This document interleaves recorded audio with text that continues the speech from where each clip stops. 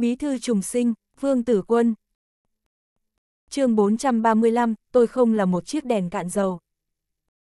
Lý Khang lộ khoát tay áo định từ chối, nhưng ánh mắt nhìn về phía tiết nhất phàm, đành phải nuốt những lời định nói vào bụng.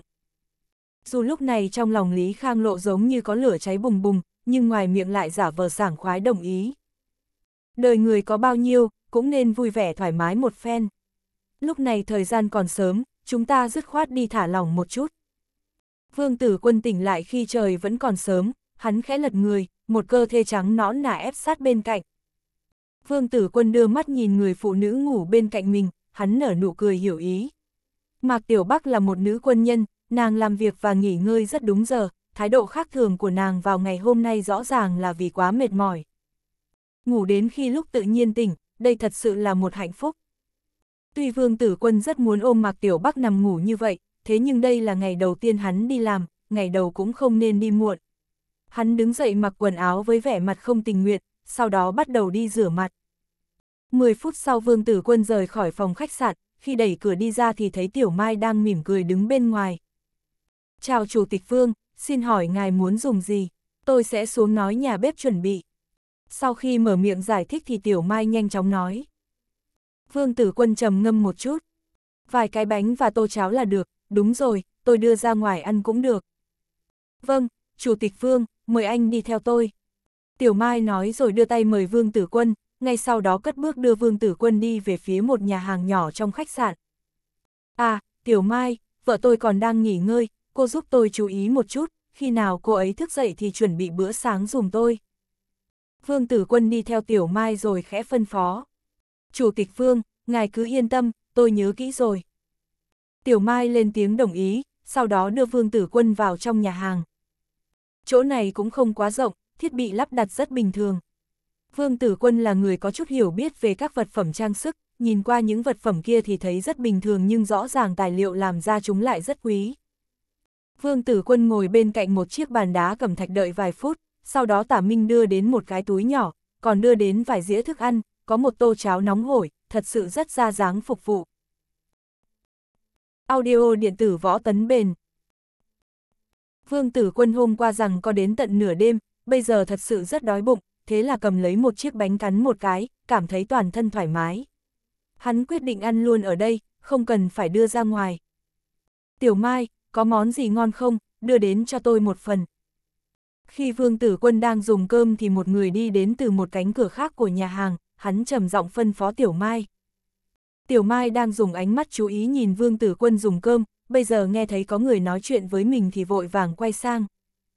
Chào Chủ tịch Lưu, ngài chờ một chút, tôi sẽ đi lấy cho ngài. Đó là một người đàn ông ba bốn mươi tuổi, cơ thể khá cao lớn phối hợp với bộ tây trang thật sự rất ngọc thụ lâm phong, trên mũi là một cặp kính, càng làm bản thân có thêm khí thức tri thức. Mái tóc của người đàn ông này tuy rất tinh tế, thế nhưng phần tóc dài ra được kéo qua đỉnh đầu lại không mấy tác dụng, đầu hói vẫn lộ rành rành, nhưng ít nhất cũng có chút tác dụng an ủi chính mình, đạt đến mục đích lừa mình dối người. Sau khi trọng sinh thì Vương Tử Quân có thêm chút thiên phú nhìn người, khi thấy người đàn ông kia thì Vương Tử Quân đứng lên nói. Chủ tịch Lưu, anh sang đây ngồi cùng với tôi, một người dùng cơm cũng không thoải mái bằng hai người. Chủ tịch Lưu thấy Vương Tử Quân thì cũng không khách khí, hắn trực tiếp đi đến. Chủ tịch Vương, tiệc tùng tổ chức ở khách sạn Đông Bộ cũng bình thường thôi, thế nhưng nơi đây làm bữa sáng rất ngon, đặc biệt là món bánh bao, ăn rất ngon.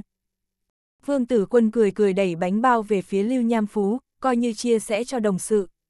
Lưu Nham Phú cũng không khách khí với ý tốt của Vương Tử Quân, hắn cầm lấy một chiếc bánh bao, ăn rất sảng khoái.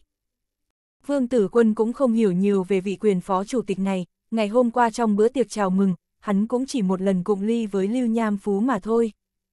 Tiểu Mai rất nhanh nhẹn, khi Lưu Nham Phú ăn được một nửa cái bánh bao thì đã dùng khay đưa ra một phần điểm tâm giống như của Vương Tử Quân. Lưu Nham Phú tuy nhìn thì có vẻ hào hoa phong nhã thế nhưng tốc độ ăn lại rất cao, thật sự làm cho người ta sinh ra cảm giác gió cuốn mây tan. Chủ tịch Vương, thành phố Đông Bộ này nước rất sâu, nếu ngài không có phao cứu sinh thì tốt nhất là đừng nhảy xuống nước. Lưu Nham Phú nhanh chóng xử lý hết tô cháo, hắn khẽ đẩy tô cháo của mình rồi khẽ nói với Vương Tử Quân. Vương Tử Quân nghe và hiểu rõ một câu nói hai ý nghĩa của Lưu Nham Phú. Đúng lúc hắn định tìm hiểu chút tình huống từ Lưu Nham Phú, đột nhiên Phó Chủ tịch Lưu đứng lên nói một câu tạm biệt với hắn, sau đó phất tay bỏ đi. Vương Tử Quân đi ra khách sạn Đông Bộ, Thái Thần Bân nhanh chóng lái xe đến bên cạnh. Triệu Quốc Lương bước xuống chiếc xe Audi có 8 phần mới cứng để mở cửa cho Vương Tử Quân. Đi đến thành phố Đông Bộ cảm thấy thế nào? Vương Tử Quân ngồi dựa lưng lên ghế rồi hỏi hai người Thái Thần Bân. Hai người Thái Thần Bân đều đến từ hôm qua, nhưng bọn họ cũng không đi cùng với người của phòng tổ chức tỉnh ủy mà tự đến. Bây giờ Thái Thần Bân đã được sắp xếp vào ban lái xe, Tử Quân thì trực tiếp sắp xếp vào văn phòng khối chính quyền thành phố. Nhưng bây giờ hai người còn chưa có biên chế, vì thế việc chính của bọn họ chính là phục vụ cho Vương Tử Quân. Cũng không tệ, các đồng nghiệp đều rất khách khí. Triệu Quốc Lương nở nụ cười nhàn nhạt, hắn cung kính nói với Vương Tử Quân. Hắn cũng nói đúng tình hình hiện tại, khi hắn làm thư ký cho Vương Tử Quân ở tỉnh đoàn thì được mọi người kính trọng vài phần, chỉ là cảm giác nịnh bợ đó lại khác biệt so với hiện tại. Dù hắn mới đến thành phố Đông Bộ này được một ngày nhưng số người muốn mời hắn dùng cơm thật sự là rất nhiều. Vương Tử Quân khẽ gật đầu, hắn hỏi hai người Thái Thần Bân và Triệu Quốc Lương về vấn đề ăn ở.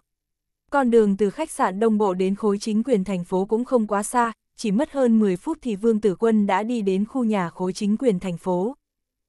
Văn phòng khối chính quyền tỉnh sắp xếp cho Vương Tử Quân một phòng làm việc khá tốt, bên trong có phòng xếp, bên ngoài là một gian hơn 20 mét vuông làm phòng làm việc. Phòng xếp bên trong có đầy đủ đồ dùng, cũng không quá rộng, tính chất không tệ, rất thuận tiện để Vương Tử Quân nghỉ ngơi. Tất cả dụng cụ trong phòng làm việc đều là hàng mới, được bày đặt rất chỉnh tề. Triệu Quốc Lương là thư ký cho Vương Tử Quân, phòng làm việc của Triệu Quốc Lương cũng cách đó không xa. Chủ tịch Vương, vì sắp xếp có chút vội vàng nên cũng không ổn thỏa, không biết ngài thích gì, nếu ngài thấy không hợp thì tôi sẽ cho bọn họ thay đổi. Vương Tử Quân vừa mới ngồi vào vị trí của mình trong phòng làm việc, đúng lúc này thư ký trưởng văn phòng khối chính quyền là Đào Chính Đào tươi cười đi vào trong phòng. Sau khi chào hỏi hai câu, hắn cười cười nói với Vương Tử Quân. Cảm ơn thư ký trưởng, tôi cảm thấy sắp xếp như vậy là tốt rồi, tôi rất hài lòng. Vương Tử Quân ném cho Đào Chính Đào một điếu thuốc, sau đó nói lời cảm ơn. Đào Chính Đào thấy Vương Tử Quân cũng hút thuốc thì vội vàng lấy bật lửa ra, hắn vừa mồi thuốc cho Vương Tử Quân vừa cười nói. Chủ tịch Vương quá khách khí rồi, phục vụ cho ngài là chức trách của tôi. Đúng rồi, Chủ tịch Vương, vừa rồi Cục Quản lý Sự vụ cơ quan đã báo với tôi, nói là Chủ tịch Trương còn chưa dọn ra, bọn họ còn đang làm công tác sắp xếp bố trí. Vì ai cũng là lãnh đạo, thật sự khó nghiêng lệch được, các đồng chí Cục Quản lý Sự vụ cơ quan cũng gặp phải khó khăn, bất đắc dĩ cũng mong anh thư thả cho vài ngày. Chút chuyện nhỏ đó cũng không cần gấp. Vương Tử Quân phất tay nói, những chuyện thế này đào chính đào đã nói thì hắn cũng không yêu cầu gì khác, chính mình dù sao cũng là mới đến, cần an phận một chút thì hay hơn. Đào chính đào thấy Vương Tử Quân nói chuyện dễ chịu như vậy thì nụ cười trên mặt càng thêm sáng lạn, sau khi buôn chuyện thêm vài câu với Vương Tử Quân thì khách khí rời đi. Khi đào chính đào rời đi thì phòng làm việc của Vương Tử Quân cũng an tĩnh trở lại, vì vấn đề phân công còn chưa được xác định, thế cho nên lúc này cũng không ai đến báo cáo công tác. Trước đó Vương Tử Quân đã yêu cầu Triệu Quốc Lương chuẩn bị các văn kiện của Đảng ủy chính quyền thành phố Đông Bộ trong thời gian 2 năm qua, bây giờ tất cả đang được đặt trên bàn. Hắn lặng lặng nhìn chồng văn kiện, nhìn qua thì có vẻ khá buồn tẻ, thế nhưng xem xét đống văn kiện này cũng có thể làm cho hắn biết đại khái về thành phố Đông Bộ. Cốc cốc cốc, tiếng gõ cửa khẽ vang lên, Vương Tử Quân ngẩng đầu lên từ đống văn kiện. Vào đi. Chủ tịch Vương, Cục trưởng Triệu của Cục Công an thành phố đến. Triệu Quốc Lương đẩy cửa đi vào nói với Vương Tử Quân. Cục trưởng Triệu, trong mắt Vương Tử Quân chợt lóe lên hào quang, hắn nhìn về phía Triệu Quốc Lương nói. Mời Cục trưởng Triệu vào. Triệu Quốc Lương đồng ý một tiếng rồi đi ra ngoài. Một lát sau một người đàn ông dáng người không cao nhưng lại làm cho người ta sinh ra cảm giác cực kỳ mạnh mẽ đi vào phòng làm việc của Vương Tử Quân. Khi thấy Vương Tử Quân thì người vừa đi vào đã nở nụ cười rạng rỡ và cung kính nói. Chào Chủ tịch Vương, tôi là Triệu Đắc Biêu của Cục Công an thành phố. Chào Cục trưởng Triệu. Vương Tử Quân đứng lên đi đến nhiệt tình bắt tay với Triệu Đắc Biêu, sau đó cùng Triệu Đắc Biêu ngồi xuống ghế salon. Triệu Quốc Lương tiến vào dâng trà cho hai người, sau đó đóng cửa lui ra. Tuy Vương Tử Quân vẫn biểu hiện rất hòa ái nhưng Phó Cục trưởng Triệu Đắc Biêu vẫn rất nghiêm túc, hắn cung kính nói. Chủ tịch Vương, lần này tôi đến báo cáo với anh về sự việc ngày hôm qua ở khách sạn Đông Bộ. Dựa theo phân phó của anh, chúng tôi đã tiến hành lấy lời khai của Đỗ Gia Sương và Lý Dược Hổ. Hai người kia thường xuyên ăn tục nói bậy, chúng tôi đã tiến hành giáo dục theo đúng trình tự, bắt bọn họ phải viết giấy cam kết, đảm bảo sau này sẽ không phát sinh vấn đề cùng loại, nếu không sẽ xử lý theo mức nghiêm trọng hơn. Tuy Triệu Đắc Biêu tươi cười hớn hở báo cáo với Vương Tử Quân nhưng trong lòng lại liên tục cười lạnh. Vương Tử Quân anh không phải yêu cầu xử theo đúng trình tự sao? Bây giờ tôi đến nói cho anh biết, chúng tôi đã xử lý theo đúng trình tự, nói rõ kết quả cho anh. Mắng cũng đã mắng, chửi cũng đã chửi, đối phương cũng đã làm giấy cam kết, tất cả chỉ là chuồn chuồn lướt nước, căn bản chẳng có gì phát sinh. Tuy Triệu Đắc Biêu tỏ ra cực kỳ khách khí nhưng Vương Tử Quân vẫn có thể nghe những lời báo cáo của đối phương mà thấy được vấn đề. Nhưng hắn cũng không tức giận, hắn cười ha hả nâng ly trà lên nhấp một ngụm, sau đó nói. Cục trưởng Triệu, xử lý chuyện này nằm trong phạm vi của Cục Công an các anh, các anh cứ xử lý theo đúng trình tự là được. Triệu Đắc Biêu vội vàng nói. Cảm ơn Chủ tịch Vương đã giúp đỡ cho công tác của Cục Công an. Nói thật với anh, chúng tôi cũng rất muốn nghiêm trị hai tên kia, nhưng hôm nay yêu cầu chấp pháp văn minh, quá trình chấp pháp cũng cần phải rõ ràng và trong suốt. Hai người bọn họ phạm phải sai lầm không lớn, cũng không thể nào ra tay quá cứng, điều này làm chúng tôi cảm thấy rất đau đầu. Vương tử quân khoát khoát tay tỏ vẻ đã hiểu, hắn cũng không tiếp tục dây dưa ở vấn đề này, chỉ nói chuyện vài câu với Triệu Đắc Biêu, sau đó Triệu Đắc Biêu cung kính cáo từ. Lẽ ra Triệu Đắc Biêu phải cảm thấy may mắn vì mình có thể thoải mái hoàn thành nhiệm vụ lần này mà không bị Vương Tử Quân trách mắng, nhưng từ trong phòng làm việc của Vương Tử Quân đi ra ngoài, Triệu Đắc Biêu lại không thể sinh ra cảm giác thở phào nhẹ nhõm. Vị lãnh đạo khối chính quyền này sao lại có biểu hiện như vậy? Triệu Đắc Biêu cảm thấy cực kỳ khó hiểu, hắn nghĩ đến nụ cười nhàn nhạt của Phó Chủ tịch Thường vụ, trong lòng sinh ra cảm giác bất an, vì sao hắn luôn sinh ra cảm giác đối phương không phải loại người đèn cạn dầu.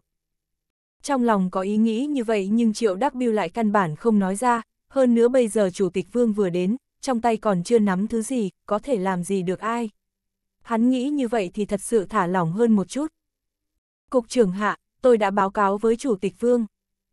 Đi vào phòng làm việc của Hạ Nham Châu thì Triệu Đắc Biêu cũng không dám ngồi, hắn đứng thẳng người rồi trầm giọng báo cáo với lãnh đạo. Hạ Nham Châu khẽ gật đầu, hắn tưới nước cho một chậu kiểng trong phòng, sau đó đặt thùng xuống dùng khăn lau tay, lại ân cần hỏi thăm. Cục trưởng Triệu, nhiệm vụ vừa rồi cũng không dễ dàng, có bị mắng không? Không, thái độ của Chủ tịch Vương là rất tốt, còn nói xử lý thế nào là chuyện của Cục Công an chúng ta, anh ấy không xen vào, cũng không muốn gây ảnh hưởng đến quá trình chấp pháp. Triệu Đắc Biêu nghĩ đến những lời nói của Vương Tử Quân, hắn khẽ báo cáo. Hay cho một câu không xen vào. Hạ Nham Châu xé một gói thuốc mới rồi rút ra hai điếu, ném một điếu cho Triệu Đắc Biêu, lại châm lửa cho mình rồi nói. Lần này chúng ta đã hoàn toàn đắc tội với Chủ tịch Vương. Tâm tính u oán của lãnh đạo thường được che giấu rất kỹ, thật sự bùng sóng giữ trong lòng nhưng biểu hiện lại cực kỳ bình thường, chỉ là những người không bao giờ chịu phát tiết những bất mãn trong lòng như vậy mới thật sự đáng sợ. Hạ Nham Châu làm quan nhiều năm, đã từng tiếp xúc với đủ loại lãnh đạo, hắn luôn cố gắng nắm bắt manh mối cảm xúc của bọn họ, thế cho nên hiểu rõ nhiều vấn đề. Triệu Đắc Biêu tất nhiên cũng không lỗ mãng như những nhân viên vừa tham gia công tác, hắn biết lúc nào nên giả điếc, khi nào thì câm miệng. Vì thế khi Hạ Nham Châu lên tiếng thì chỉ khẽ cười mà không nói gì. Ôi, tôi cũng là thân bất do kỳ mà thôi. Người ta đã bắt chuyện, anh nói xem, tôi nếu kiên quyết không tha chẳng phải đắc tội với người ta sao.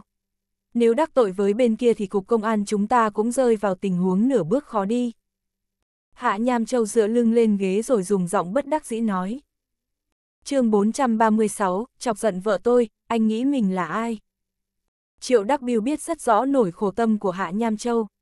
Hắn thấy cục trưởng Hạ đưa mắt nhìn mình, thế là cố gắng xem xét ngôn từ, sau đó khẽ an ủi. Bí thư Hạ, ngài đừng quá lo lắng, tôi nghĩ sau khi Chủ tịch Vương biết rõ tình huống sẽ hiểu chỗ khó của ngài, dù thế nào cũng không ghi nợ lên đầu đơn vị chúng ta. Hạ Nham Châu gật đầu nói. Chỉ hy vọng là như thế. Hạ Nham Châu vừa hút được vài hơi thuốc đã rụi vào trong gạt tàn, hắn nói tiếp. Hai ngày tới anh thông báo cho đám người đỗ ra xương, nói là tôi thông báo, để cho bọn họ đừng bao giờ lảng vảng ở khách sạn Đông Bộ, cũng cố gắng tránh mặt chủ tịch Phương. Vâng, tôi nhất định sẽ nghiêm khắc cảnh cáo bọn họ. Triệu Đắc Biêu đồng ý một tiếng, hắn đang chuẩn bị nói gì đó thì điện thoại vang lên. Hạ Nham Châu nhìn dãy số biểu hiện trên điện thoại mà khẽ nhíu mày, nhưng ngay sau đó hắn đã cười ha hả cầm lấy điện thoại nói. Chủ tịch Lý, mới sáng sớm đã gọi điện thoại cho tôi, có phải sợ tôi đến trưa không tìm được chỗ dùng cơm không? Ha ha ha, anh mỗi ngày đều cực kỳ bận rộn, muốn dùng cơm chưa khó khăn lắm sao? Chỉ cần anh mở miệng, dù là thứ bay trên trời hay chạy dưới đất đều bị dọn ra bàn ăn. Giọng cười vui vẻ của Lý Khang Lộ truyền đến từ đầu dây bên kia. Hạ Nham Châu tất nhiên sẽ không để cho Lý Khang Lộ mời khách, hai người nói vài câu khách khí, sau đó Lý Khang Lộ cười nói. Anh Hạ, Chủ tịch Vương bên kia có phản ứng gì? Anh yên tâm, nếu có gì chứng gì anh cứ đẩy sang bên tôi, tôi tin Chủ tịch Vương cũng không làm khó gì mình. Lý Khang Lộ nói cũng có chút kiêu ngạo, Hạ Nham Châu nghe thấy vậy tất nhiên sẽ sinh ra chút cảm giác không thoải mái, hai hàng chân mày khẽ nhíu lại. Hắn vốn là bí thư ủy ban tư pháp kiêm cục trưởng cục công an, nếu so với một phó chủ tịch thành phố như Lý Khang Lộ thì rõ ràng có địa vị thượng thừa, anh nói vậy là có ý gì? Không phải anh đang cố ý khoe khoang mình bây giờ là ái tướng tâm phúc của bí thư tiết diệu tiến sao? Thân trong quan trường thì dù là người nào chỉ cần có chút tâm cơ cũng phải hiểu khi làm việc thì nên cố gắng hết sức nhưng khi làm người thì phải an phận, không người nào tình nguyện tự ý trêu chọc làm cho người ta hâm mộ ghen ghét, bọn họ càng xuân phong đắc ý thì càng phải kẹp chặt đuôi làm người. Mọi người đều biết rõ ưu thế của mình, có vài lời thích hợp nhưng khó thể nói ra, vì thế nếu nhìn vào phương diện này, Hạ Nham Châu thầm nghĩ Lý Khang Lộ thật sự là kẻ quá cản rỡ. Chủ tịch Lý, sự việc đã xử lý xong, tôi đã sắp xếp Cục trưởng Triệu Đắc Biêu báo cáo kết quả xử lý cho Chủ tịch Vương, mà Chủ tịch Vương cũng bày tỏ quan điểm giúp đỡ cho công tác của chúng tôi. Hơn nữa tôi cũng đã xử lý sự việc theo đúng trình tự. Hạ Nham Châu trầm ngâm một lát rồi vừa cười vừa nói. Tiếng cười của Lý Khang Lộ lại truyền đến từ đầu dây bên kia, hắn nói. Bí thư hạ, tôi đã nói mà, Chủ tịch Vương sẽ không có vấn đề gì cả. Được rồi, tôi nhớ cái phần nhân tình này của anh, tối nay anh có rảnh không? Đỗ Gia Hào có vài món ngon, chúng ta cùng nhau uống vài ly. Tôi xin tâm lĩnh ý tốt của anh, nhưng hôm nay lãnh đạo cục công an xuống kiểm tra, tôi phải đi cùng, thật sự khó thể nào dứt ra được. Hạ Nham Châu thuận miệng nói ra một lý do từ chối bữa cơm của Đỗ Gia Hào. Lý Khang Lộ nói thêm vài câu đáng tiếc rồi cúp điện thoại. Hạ Nham Châu đặt điện thoại xuống rồi nhìn thoáng qua Triệu Đắc Biêu, hắn dùng giọng không vui nói. Sau này Chủ tịch Lý có chuyện gì thì chúng ta đừng nên chú tâm nắm lấy làm gì cho mệt, nếu không cuối cùng cũng chỉ là chúng ta bị úp ngũ. Triệu Đắc Biêu khẽ gật đầu với lời căn dặn không rõ đầu đuôi của Bí Thư Hạ, hắn đứng một lúc trong phòng làm việc của Hạ Nham Châu, sau đó chuẩn bị bỏ đi. Tút tút tút, tiếng chuông điện thoại lại vang lên rồn rập, Hạ Nham Châu định nhấc điện thoại lên nghe, hắn chợt phát hiện đó không phải là điện thoại của mình. Khi hắn đang rất nghi ngờ thì Triệu Đắc Biêu lấy điện thoại ra xem xét. Triệu Đắc Biêu dùng ánh mắt xấu hổ nhìn thoáng qua Hạ Nham Châu, sau đó hắn bấm nút nghe. Lúc đầu Triệu Đắc Biêu nói rất nhỏ, nhưng ngay sau đó đã lớn tiếng nói. Anh nói gì, lặp lại một lần nữa tôi xem. Hạ Nham Châu vốn không chú ý đến cuộc gọi của Triệu Đắc Biêu, nhưng biến đổi bất thường của đối phương cũng làm vẻ mặt hắn biến đổi. Tuy Triệu Đắc Biêu không tính là tâm phúc của hắn, nhưng hai người cùng cộng tác với nhau nhiều năm, hắn vẫn hiểu rõ tâm tính của đối phương. Hắn biết Triệu Đắc Biêu không phải là người gặp sự việc gì đó thì ngay lập tức tỏ ra bối rối, bây giờ lại biểu hiện như vậy, chỉ sợ xảy ra chuyện lớn. Khi Hạ Nham Châu dùng ánh mắt khó hiểu nhìn Triệu Đắc Biêu, đúng lúc Triệu Đắc Biêu đặt điện thoại xuống. Triệu Đắc Biêu cũng không nhanh chóng thu hồi điện thoại, hắn nói với Hạ Nham Châu. Vừa rồi là người trong Cục Công an gọi điện thoại đến, nói là người của Cục Công an tỉnh đã đến, trực tiếp đưa Đỗ Gia Sương và Lý Dược Hổ đi rồi. Người của Cục Công an tỉnh, Hạ Nham Châu cũng sững sờ, trong lòng thầm kêu khổ. Còn bà nó, chuyện này không liên quan đến vị chủ tịch vương vừa mới đến nhận công tác đấy chứ. Chính mình vừa vặn nói với Lý Khang Lộ rằng lãnh đạo Cục Công an tỉnh đến, mình không thể đi được, nếu như sự việc bây giờ không nói rõ ràng, chỉ sợ mình nhảy xuống sông Hoàng Hà cũng không thể rửa sạch được. Hạ Nham Châu nghĩ đến tình huống này mà cảm thấy mặt mũi nóng lên hừng hực. Hắn đã rất nể mặt Lý Khang Lộ ở sự việc lần này, cũng không ngờ Phó Chủ tịch Thường vụ Vương Tử Quân cũng không phải hạng dễ trêu vào, chính mình thả người, bây giờ đối phương lại thông qua Cục Công an tỉnh để bắt người. Hạ Nham Châu dù không biết hai người kia phạm lỗi gì, nhưng nghĩ đến những tin đồn sẽ bùng phát sau đó, hắn không khỏi cảm thấy cực kỳ khó chịu. Trong đầu chợt lóe lên nhiều ý nghĩ, hắn thầm có chút hối hận, mình nhàn dỗi dây vào việc này làm gì. Bây giờ thì tốt, sự việc rơi vào tình huống chưa bát giới soi gương. Hắn nhanh chóng cầm lấy điện thoại, nhưng vừa bấm được hai số thì hắn lại buông máy, hắn nhìn thoáng qua triệu đắc biêu rồi nói. Chuyện này Cục Công an tỉnh đã muốn chen vào, như vậy cũng không liên quan gì đến Cục Công an thành phố chúng ta. Triệu Đắc Biêu tất nhiên cũng không muốn mất mặt, bây giờ nghe thấy Hạ Nham Châu nói như vậy thì gật đầu cung kính. Hai bên nói vài câu, sau đó Triệu Đắc Biêu rời khỏi phòng làm việc của Hạ Nham Châu. Lý Khang Lộ là phó chủ tịch thành phố, hầu như hắn là một vị phó chủ tịch bận rộn nhất trong biên chế khối chính quyền tỉnh. Ngoài phòng làm việc của hắn luôn có nhiều người đứng chờ được vào báo cáo công tác. Hơn nữa những người đang đứng chờ báo cáo công tác bên ngoài hầu như đều là lãnh đạo đơn vị ban ngành. Chủ tịch Lý, anh xem, có thể cho chúng tôi chút trích sách nghiêng được không? Trưởng phòng giao thông công tránh đưa mắt nhìn Lý Khang Lộ, sau đó khẽ hỏi. Lý Khang Lộ gật đầu nở nụ cười, hắn đang chuẩn bị cho ra chỉ thị thì điện thoại vang lên. Hắn nhìn dãy số gọi đến, hai hàng chân mày chợt nhíu lại. Thầm nghĩ Đỗ Gia Hào thật sự không biết quy củ, vì sao lúc này lại gọi điện thoại đến đây. Đúng là người ta nói không sai, tiền nhiều thì tố chất con người cũng thấp, chẳng ra thể thống gì.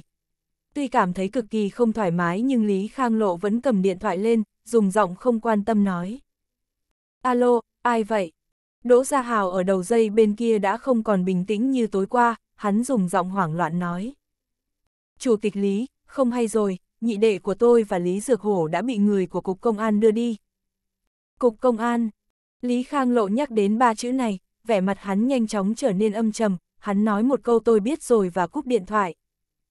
Trưởng phòng vệ Hòa Nguyên của phòng giao thông công tránh thành phố Đông Bộ có quan hệ rất tốt với Lý Khang Lộ, đến báo cáo công tác cho Chủ tịch Lý cũng rất tùy ý. Lúc này hắn thấy vẻ mặt Chủ tịch Lý chợt biến đổi, thế là sợ đến mức vội vàng ngồi thẳng người lên. Trưởng phòng vệ, chuyện này tôi xử lý vài việc rồi sẽ cho anh câu trả lời sau. Lý Khang Lộ nhìn thoáng qua vệ Hòa Nguyên rồi trầm giọng nói. Vâng, Chủ tịch Lý, tôi nghe theo sắp xếp của ngài, ngài cứ bận rộn. Vệ Hòa Nguyên cũng là người giỏi quan sát, hắn thấy Lý Khang Lộ đang rất khó chịu, biết mình dù có nói thì cũng không có gì hay, thế là thức thời đứng lên gật đầu chuẩn bị rời đi. Lý Khang Lộ khẽ gật đầu, sau khi vệ Hòa Nguyên bỏ đi thì hắn nhanh chóng gọi điện thoại phân phó thư ký. Tôi còn có việc, nói những người khác buổi chiều hãy đến. Thư ký nghe thấy giọng điệu mất hứng của lãnh đạo thì cũng không dám lắm miệng, hắn đồng ý một tiếng rồi bước ra ngoài thông báo. Lý Khang Lộ ngồi trên ghế sau bàn làm việc, hắn vung tay lên vỗ ẩm lên mặt bàn, bàn làm việc không khỏi lắc lư trao đảo. Sau khi bàn tay và mặt bàn va chạm vào nhau, Chủ tịch Lý chợt cảm thấy có chút đau đớn. Lý Khang Lộ trầm ngâm một lát rồi lấy điện thoại ra gọi cho Hạ Nham Châu, nhưng hai bên vừa rồi mới trò chuyện vui vẻ, thế nhưng bây giờ gọi đi lại không ai nghe máy. Lý Khang Lộ thật sự rất căm tức, hắn lại nhìn sổ điện thoại cách mình không xa. Hắn tiếp tục bấm số của Hạ Nham Châu, nhưng vừa bấm được vài số thì đặt điện thoại xuống. Hạ Nham Châu là bí thư ủy ban tư pháp kiêm cục trưởng cục công an, Lý Khang Lộ không tin Hạ Nham Châu sẽ chậm chạp hơn mình. Đúng lúc này hắn chợt nhớ đến nguyên nhân làm cho Hạ Nham Châu không đến tham gia bữa tiệc của Đỗ Gia Hào, đó là lãnh đạo cục công an tỉnh đến Đông Bộ, đối phương phải đi tiếp khách. Điều này có ý nghĩa thế nào? Bây giờ gọi điện thoại cho Hạ Nham Châu mà không ai nghe máy, điều này chỉ nói rõ một vấn đề, Hạ Nham Châu căn bản không muốn dây vào mình, mình đừng tơ tưởng để đối phương tiến vào vòng nước xoáy giúp đỡ mình. Lý Khang lộ thầm nghĩ như vậy, hắn rút ra một điếu thuốc, vẻ mặt cực kỳ dữ tợn. Tút tút tút, chuông điện thoại lại vang lên, Lý Khang lộ vốn không muốn nghe máy, nhưng hắn nhìn qua số điện thoại gọi đến, thế là cảm thấy giống như lửa cháy sau mông. Hắn vội vàng đứng lên cầm lấy điện thoại, cơ thể thẳng đứng, lại cung kính nói. Bí thư tiết, tôi là Lý Khang Lộ. Không giống như Lý Khang Lộ, Vương Tử Quân xem như là người cuối cùng biết đến chuyện này, nếu như Triệu Quốc Lương không tiến vào châm trà và nói ra một câu, chỉ sợ Vương Tử Quân cũng không biết gì. Nhà đầu, việc này là em làm sao? Vương Tử Quân nhìn Mạc Tiểu Bắc đang ngồi trải đầu trước mặt mà cười ha hả hỏi. Mạc Tiểu Bắc là người trời sinh thông minh xinh đẹp, nàng tuy trải đầu nhưng cũng chỉ là tùy ý mà thôi, sau đó buộc tóc đuôi ngựa ở sau đầu. Nhưng càng là như vậy lại càng làm cho nàng có phong thái riêng. Có lẽ hai người kia chưa bao giờ đánh răng, thế nên nói ra cảm thấy rất hôi. Mạc Tiểu Bắc đứng thẳng người lên, gương mặt khá lạnh lẽo. Thật không ngờ vợ anh lại khí phách như vậy. Vương Tử Quân có chút tâm tư nghịch ngợm, hắn khẽ kéo tóc đuôi ngựa của Mạc Tiểu Bắc rồi cười ha hả chọc ghẹo. Mạc Tiểu Bắc chừng mắt nhìn Vương Tử Quân, nàng cũng không nói điều gì. Đối với chuyện này, sau khi Triệu Đắc Biêu nói rõ đã xử lý như thế nào, hắn đã suy xét rõ ràng, tìm ra được thủ đoạn đối phó nhưng còn chưa kịp thi triển thì đã bị Mạc Tiểu Bắc vung tay chém đứt. Điều này làm cho hắn sinh ra cảm giác thỏa mãn, đồng thời trong lòng cũng có chút khó hiểu, vợ lại làm cây đại thụ che chở cho mình sao. Chúng ta đi dùng cơm chứ? Mạc Tiểu Bắc kéo tay Vương Tử Quân rồi khẽ nói. Thế nào, em đói bụng sao, vậy thì chúng ta đi ăn tiệc lớn. Vương Tử Quân khẽ vung tay lên, hắn cực kỳ vui vẻ kéo Mạc Tiểu Bắc đi xuống khách sạn. Vương Tử Quân nói ăn tiệc lớn thật ra cũng chỉ là vài món mà thôi, vì Vương Tử Quân là phó chủ tịch thường vụ thành phố, thế cho nên đầu bếp cố ý tăng thêm vài món. Tất cả các món đều rất thơm ngon, điều này không khỏi làm cho Mạc Tiểu Bắc ăn được nhiều hơn một chút. Em vừa nhận được thông báo, em sẽ phải về rồi. Mạc Tiểu Bắc dùng khăn lau miệng, sau đó nàng dùng giọng có chút đau lòng nói. Vương Tử Quân cũng thật sự có chút không muốn, nhưng khi nhìn thấy bộ dạng giống như phạm phải sai lầm gì đó của Mạc Tiểu Bắc, hắn khẽ tiến lên giữ lấy vai nàng rồi an ủi. Vợ, đây cũng không phải là lỗi của em, đợi sau này có thời gian, anh nhất định sẽ đến tính sổ với anh Trần, đọc truyện online mới nhất ở tiuyenfull.vn.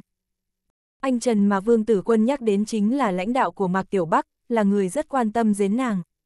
Vương Tử Quân là người trọng sinh nên biết được chút kỹ thuật máy tính, điều này làm cho anh Trần lau mắt nhìn, cũng không quên cố gắng mời Vương Tử Quân nhập bọn, thế nhưng Vương Tử Quân vội vàng từ chối. Mạc Tiểu Bắc vừa nghe thấy Vương Tử Quân nói sẽ đi tìm tính sổ anh Trần thì gương mặt nhỏ nhắn cực kỳ bình tĩnh lại có chút ngượng ngùng. Thật ra là em tự tiện đến đây, chơi trò tiền trảm hậu tấu. Tiền trảm hậu tấu. Vương Tử Quân nghe thấy Mạc Tiểu Bắc nói như vậy thì trong lòng thật sự rất ấm áp, hắn kéo nàng vào trong lòng mình, cơ thể không xương của nàng chợt mềm nhũn trong lòng hắn. Mạc Tiểu Bắc thường kháng cự với những hành vi như vậy ở những trường hợp công cộng, nhưng lúc này nàng cũng không nói gì, chỉ lặng lặng ở trong lòng Vương Tử Quân, trên mặt là nụ cười hạnh phúc. Mạc Tiểu Bắc đi, xe chạy rất nhanh, chỉ sau nháy mắt đã không còn nhìn thấy tăm hơi. Vương Tử Quân nhìn chiếc xe Jeep chạy đi mất mà có chút thất lạc, giống như sợ chạy chậm sẽ càng làm hắn thương cảm vậy chương 437, không đủ chức quyền. Vương Tử Quân nghĩ đến những lời Mạc Tiểu Bắc nói nhỏ vào trong tai mà trong lòng có chút chua xót. Hai người gặp nhau trong vui vẻ hân hoan, khi đó giống như mặt trời tỏa sáng, bây giờ chỉ sợ lại lủi thủi một mình với màn đêm. Dù hắn thật sự có chút ràng buộc tình cảm với Tần Hồng Cẩm và Trương Lộ Giai, thế nhưng sau khi kết hôn thì hắn rất chú trọng nắm bắt điều tiết và phân phối. Giống như hắn là một nhạc trưởng vậy, luôn hoàn thành tốt nhiệm vụ với các bên mà căn bản không sinh ra lỗi lầm. Sự thật là sự thật, vợ và người tình được phân biệt rất rõ ràng, hắn yêu đương vụng trộm cũng không quá sinh ra cảm giác xấu hổ, cũng không quá áp chế chính bản thân mình. Nếu nhìn vào điểm này thì Vương Tử Quân thật sự tình nguyện có con với Mạc Tiểu Bắc, nhưng cũng vì nhiều nguyên nhân nên đến bây giờ vẫn chưa thực hiện được. Nhưng những lúc đêm dài người tính, cảm thấy năm tháng trôi qua như thoi đưa, áp lực của thời gian thật sự quá lớn, thể nghĩ xem nếu sau này công thành danh thoại, nếu không có con cháu quấn quanh làm bạn, dù có quan cao chức trọng, ngồi trên núi vàng núi bạc thì cuộc sống có sáng lạn hay không? Chủ tịch Vương Khi Vương Tử Quân đang trầm ngâm thì Triệu Quốc Lương đi đến bên cạnh nói. Ừ. Vương Tử Quân khẽ gật đầu với Triệu Quốc Lương, hắn đi về phía xe. Khi Vương Tử Quân leo lên xe thì Triệu Quốc Lương khẽ nói. Chủ tịch Vương, vừa rồi đồng chí tả khang kiến của văn phòng khối chính quyền gọi điện thoại đến nói Chủ tịch Nhâm sẽ gặp anh trong phòng làm việc vào lúc 9 giờ. Tả khang kiến chính là thư ký của Chủ tịch thành phố Nhâm Sương Bình, trước đó Nhâm Sương Bình đến thủ đô học hành, thế cho nên hai ngày qua Vương Tử Quân căn bản không có công tác gì cả, điều này dù là ai ở trong văn phòng khối chính quyền thành phố đều biết rõ ràng. Vương Tử Quân là một vị phó chủ tịch thường vụ, hắn dù sao cũng phải gặp mặt chủ tịch Nhâm Sương Bình, dù sao thì Nhâm Sương Bình cũng là người phân công phạm vi công tác của hắn ở trong khối chính quyền tỉnh. Tuy công tác của phó chủ tịch thường vụ trước đó vẫn chưa có ai tiếp nhận, nhưng điều này cũng không đại biểu rằng Vương Tử Quân có thể tham gia công tác ngay được. Trong đầu Vương Tử Quân chợt lóe lên nhiều ý nghĩ, hắn nhìn khu văn phòng khối chính quyền thành phố, trên mặt lộ ra vẻ ngưng trọng.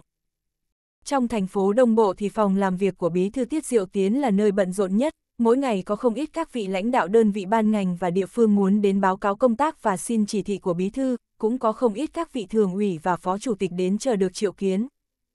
Trương Hiểu Đông là kinh tế của Bí thư Tiết Diệu Tiến, lại là trưởng khoa tổng hợp số 2 của văn phòng thị ủy, hắn rõ ràng là một người bừng ra ánh sáng trói lọi trong mắt mọi người không những các vị lãnh đạo đơn vị ban ngành và địa phương tỏ ra cực kỳ khách khí với hắn, thậm chí các vị lãnh đạo thường ủy và phó chủ tịch thành phố cũng tỏ ra rất khách khí. Trương Hiểu Đông vừa 30, rõ ràng là một cán bộ cực kỳ xuân phong đắc ý.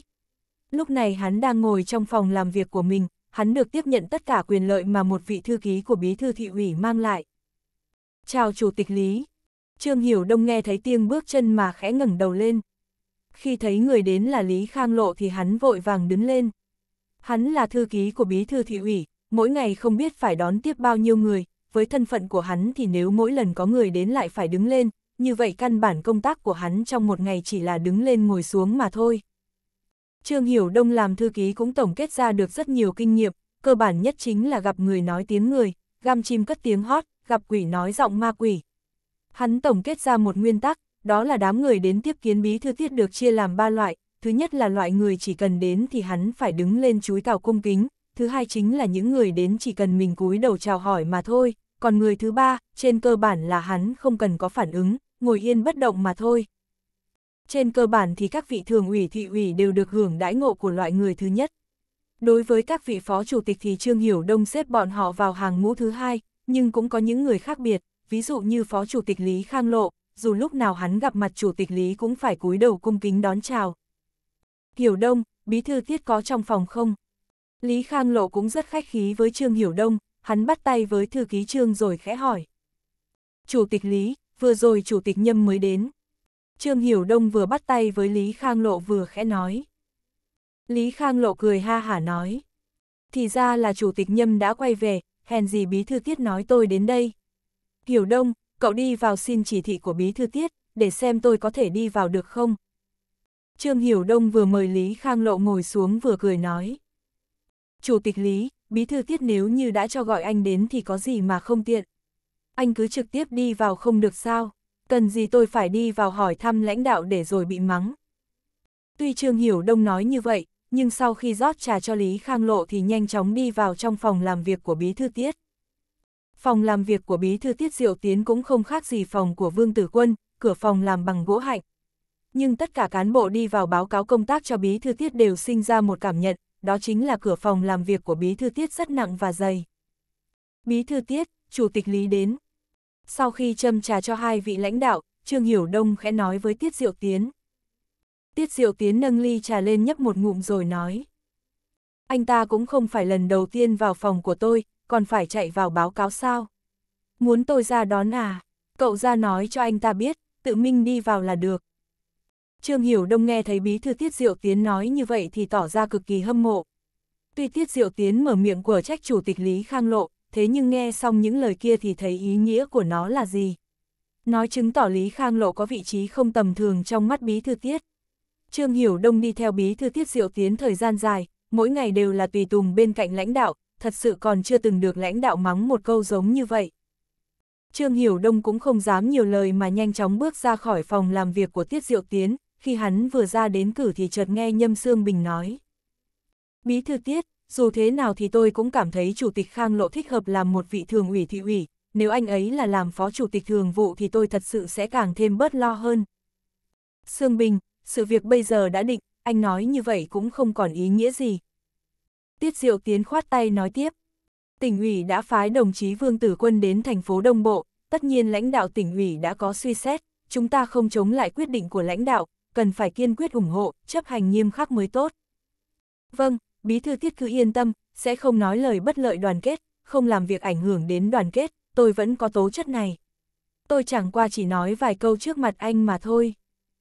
Nhâm Sương Bình khẽ cười rồi giải thích với Tiết Diệu Tiến. Tiết Diệu Tiến cười cười, hắn thay đổi chủ đề. Nếu tử quân đã đến nhận chức ở thành phố Đông Bộ, như vậy chúng ta sẽ cho anh ấy sân khấu để thi triển tài hoa. Trước đó anh đến thủ đô có việc, thế cho nên vấn đề phân công còn chưa rõ ràng. Bây giờ anh đã quay về, chúng ta cần phải nhanh chóng phân công công tác, cũng không thể để cho Chủ tịch Vương chờ đợi thêm. Được, cứ theo sắp xếp của Bí Thư Tiết. Trong cặp mắt dài và hẹp của Nhâm Sương Bình lóe lên luồng hào quang giống như đang cười nhạt, hắn lại nói tiếp. Bí Thư Tiết, bây giờ thành phố chúng ta đang ở vào giai đoạn phát triển cao tốc, công tác của khối chính quyền thành phố vẫn luôn vận hành với cường độ cao, càng ở vào giai đoạn này càng không thể phát sinh vấn đề. Chủ tịch tử quân là người vừa mới đến, theo tôi thấy thì không điều tra không có quyền lên tiếng, khoảng thời gian này cần để cho Chủ tịch Vương làm quen tình huống là chính. Làm quen tình huống là chính. Tỉnh đoàn nghe câu nói của Nhâm Sương Bình, hắn sao lại không hiểu. Thế là khẽ gật đầu mà không nói thêm điều gì. Nhâm Sương Bình và Tiết Diệu Tiến đã nhập gánh công tác nhiều năm, hắn rất hiểu tác phong của bí thư Tiết. Lúc này thấy Tiết Diệu Tiến không nói không rằng, hắn đã hiểu lời đề nghị của mình đã phát sinh tác dụng. Tôi thấy phương diện phân công công tác cũng nên giảm bớt ưu phiền, cũng không nhất định phải tuân theo lệ cũ trước đó. Nhâm Sương Bình lấy ra một điếu thuốc, sau đó khẽ nói với Tiết Diệu Tiến. Tiết Diệu Tiến trầm mặc không lên tiếng, đúng lúc này tiếng gõ cửa vang lên, ngay sau đó Lý Khang Lộ với gương mặt tươi cười đã đứng ngay bên ngoài. Chào Bí Thư Tiết, chào Chủ tịch Nhâm. Lý Khang Lộ dùng ánh mắt kính cần nhìn thoáng qua Tiết Diệu Tiến và Nhâm Sương Bình, lời nói có vài phần tôn kính.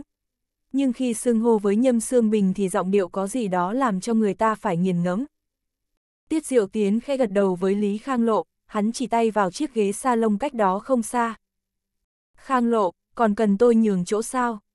Đứng trong phòng của bí thư thì đứng là tốt nhất, cũng không phải là lần đầu tiên đứng trong phòng của bí thư. Lý Khang Lộ vừa cung kính ngồi xuống ghế salon vừa cười nói với Tiết Diệu Tiến. Tiết Diệu Tiến thấy Lý Khang Lộ nói đến chuyện năm xưa thì thật sự có chút vui mừng, gương mặt nghiêm túc cũng có thêm vài phần vui vẻ. Khang Lộ, vừa rồi tôi cho ra lời đề nghị với Bí Thư Tiết, nói rằng cần gia tăng trọng trách cho anh, anh cảm thấy mình có thể gánh được không? Nhâm Sương Bình chờ Lý Khang Lộ ngồi xuống rồi mỉm cười dò hỏi. Gia tăng trọng trách đối với người trong quan trường chính là thăng quan tiến chức, Lý Khang Lộ bây giờ là phó chủ tịch, nếu như tăng cấp thì cần lãnh đạo tỉnh quyết định. Nhưng nếu nói về vấn đề phân công công tác, như vậy lại do các vị lãnh đạo thành phố quyết định. Chủ tịch Nhâm đã tín nhiệm như vậy, dù tôi không có lòng tin cũng phải đứng thẳng người, dù thế nào cũng phải nể mặt ngài. Lý Khang Lộ nói làm cho người ta thầm cảm thấy mối quan hệ giữa hắn với Nhâm Sương Bình cũng không phải tầm thường. Khang Lộ, anh cần phải chú tâm đến sự việc, cần phải cực kỳ nghiêm túc. Tôi vốn không đồng ý với sự kiện này, thế nhưng Chủ tịch Nhâm đã tín nhiệm anh, mà Chủ tịch Tử Quân lại mới đến thành phố Đông Bộ, thế cho nên anh chịu khó gánh vác thêm vài chuyện. Nhưng dù thế nào thì anh cũng nên chú ý, dù thế nào cũng phải bảo trì trạng thái đoàn kết. Tiết Diệu Tiến lấy ra một điếu thuốc châm lửa rồi nói tiếp. Bây giờ toàn tỉnh đang ở trên con tàu phát triển cao tốc, đặc biệt là thành phố An Dịch, bọn họ rõ ràng là người đi sau đến trước, bây giờ đã vượt qua cả thành phố Sơn Viên, đã trở thành một trong những viên dạ Minh Châu trói sáng sánh ngang với chúng ta. Thành phố Đông Bộ chúng ta phát triển kinh tế không thua kém thành phố An Dịch, bây giờ tranh lệch tăng trưởng kinh tế càng ngày càng lớn so với thành phố An Dịch, tình huống này không thể nào tiếp tục kéo dài. Hai vị là hai cán bộ lãnh đạo chính phó của khối chính quyền thành phố, nhất định phải giải phóng tư tưởng, phải nhiệt tình trên phương diện kêu gọi đầu tư phát triển kinh tế, phải đẩy thành phố Đông Bộ phát triển mạnh mẽ. Đồng thời tôi cũng không hy vọng vì vấn đề công tác mà xuất hiện âm thanh gì không hài hòa. Tiết Diệu Tiến nói xong thì bầu không khí trong phòng làm việc trở nên cực kỳ bình tĩnh. Một lát sau Nhâm Sương Bình mới nói. Bí thư Tiết, phương diện phát triển kinh tế của thành phố Đông Bộ so ra kém thành phố An Dịch, trách nhiệm chủ yếu thuộc về một chủ tịch thành phố như tôi. Ngài yên tâm, năm nay chúng ta sẽ cố gắng công tác, sẽ đẩy thành phố Đông Bộ phát triển lên một mức độ mới. Bí thư Tiết, Chủ tịch Nhâm nói rất đúng, đó cũng chính là lời nói thật lòng của toàn bộ khối chính quyền thành phố chúng tôi. Ngài cứ yên tâm, chúng tôi nhất định sẽ đề cao phát triển kinh tế. Tôi cũng không tin, chỉ cần kinh tế chúng ta phát triển mạnh mẽ, các vị lãnh đạo tỉnh ủy sẽ không đề cao thành phố chúng ta. Lý Khang Lộ nói chẳng khác nào khen ngợi những lời của Bí Thư Tiết Diệu Tiến, thành phố Đông Bộ chỉ là thành phố cấp sở, tăng thêm một cấp sẽ là phó tỉnh. Nếu thành phố Đông Bộ tăng cấp thì cũng tương ứng với Bí Thư Tiết được thăng cấp, hơn nữa còn rất có thể diện. Tuy biết rõ Lý Khang Lộ đang vuốt mông ngựa nhưng Tiết Diệu Tiến vẫn cảm thấy rất vui. Hắn đã là bí thư thị ủy được 6 năm, bây giờ nếu có thể đẩy thành phố Đông Bộ lên làm thành phố ngang hàng với An Dịch, như vậy một bí thư thị ủy như hắn sẽ cùng cấp với bí thư trịnh Đông Phương của An Dịch, trực tiếp trở thành thường ủy tỉnh ủy, cán bộ cấp phó bộ. Tốt, cứ quyết định như vậy, nhưng trên phương diện phân công thì hai anh nên xem xét, chú trọng đoàn kết ban ngành, không thể gây chia rẽ. Tiết Diệu tiến lên tiếng, ngay sau đó cũng không nói gì thêm.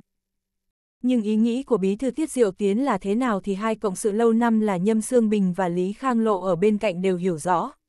Hai mắt Lý Khang Lộ chợt lóe sáng, tuy không trở thành phó chủ tịch thường vụ làm cho hắn cảm thấy cực kỳ tiếc nuối, thế nhưng nếu quyền lực của hắn vượt qua cả phó chủ tịch thường vụ, lại có sự trèo chống của bí thư tiết diệu tiến, không quá một năm sau hắn sẽ tiến vào trong danh sách thường ủy thị ủy như ước nguyện. Sau khi từ trong phòng làm việc của bí thư tiết diệu tiến đi ra, Lý Khang Lộ chợt bày ra bộ dạng gấp gáp nói. Chủ tịch Nhâm, hôm nay bí thư tiết đã bày tỏ quá rõ ràng, chúng ta cũng nên sớm chấp hành. Dù sao thì lúc này bí thư tiết đã rất thương nhớ cấp phó tỉnh. Anh cứ yên tâm, tôi biết nên làm thế nào. Nhâm Sương Bình đưa mắt nhìn khắp bốn phía, lại khẽ gật đầu với đám người đang lên tiếng chào hỏi, sau đó lại nghiêng đầu nói. Trước kia cậu nắm khối xây dựng, tôi cảm thấy phương diện tài chính và thuế vụ cũng không thể tách khỏi khối xây dựng. Bây giờ Chủ tịch Tử Quân vừa mới đến, thật sự còn chưa hiểu tài chính và thuế vụ, thế nên dứt khoát cho anh trông nom phương diện này, như vậy tôi cũng an tâm hơn. Tài chính và thuế vụ trước kia luôn là đất diễn của Phó Chủ tịch Thường vụ, bây giờ lại ném cho Lý Khang Lộ, như vậy quyền lực và trách nhiệm của Phó Chủ tịch Thường vụ chẳng khác nào rơi hết vào tay của Lý Khang Lộ. Lúc này Lý Khang Lộ cũng không ngờ Chủ tịch Nhâm Sương Bình lại hào phóng như vậy, thế là hắn chợt ngây người rồi nói. Chủ tịch Nhâm, ngài cũng quá coi trọng tôi rồi, khối tài chính và thuế vụ. Bạn đang đọc truyện tại truyện phun. Nhâm Sương Bình cũng không chờ Lý Khang Lộ nói hết lời, hắn vung tay nói. Những chuyện này tôi biết rõ, bây giờ bí thư tiết ở bên kia thúc quá gấp, nếu không giao khối tài chính và thuế vụ cho một người có thể tin được, chỉ sợ tôi cũng sẽ cạn lương thực. Lý Khang Lộ nhìn bộ dạng cười ha hả của Nhâm Sương Bình, hắn cũng cười phá lên, cả hai cười khá lớn, thế là tất cảm giác khó hiểu của Lý Khang Lộ chợt tan biến sạch sẽ. Nếu như tôi nắm hết quyền của Chủ tịch Vương, nếu Chủ tịch Vương không chịu nổi thì làm sao bây giờ? Hơn nữa tôi là một phó chủ tịch bình thường lại nắm quyền nặng hơn một vị phó chủ tịch thường vụ, điều này giống như cực kỳ khó ăn nói. Lý Khang Lộ ngồi trong xe của Nhâm Sương Bình, hắn đưa một điếu thuốc vào trong tay lãnh đạo, sau đó chờ lãnh đạo cho ra chỉ thị. Nhâm Sương Bình nhận điếu thuốc cũng không hút, hắn đặt xuống mũi người người rồi mới nói.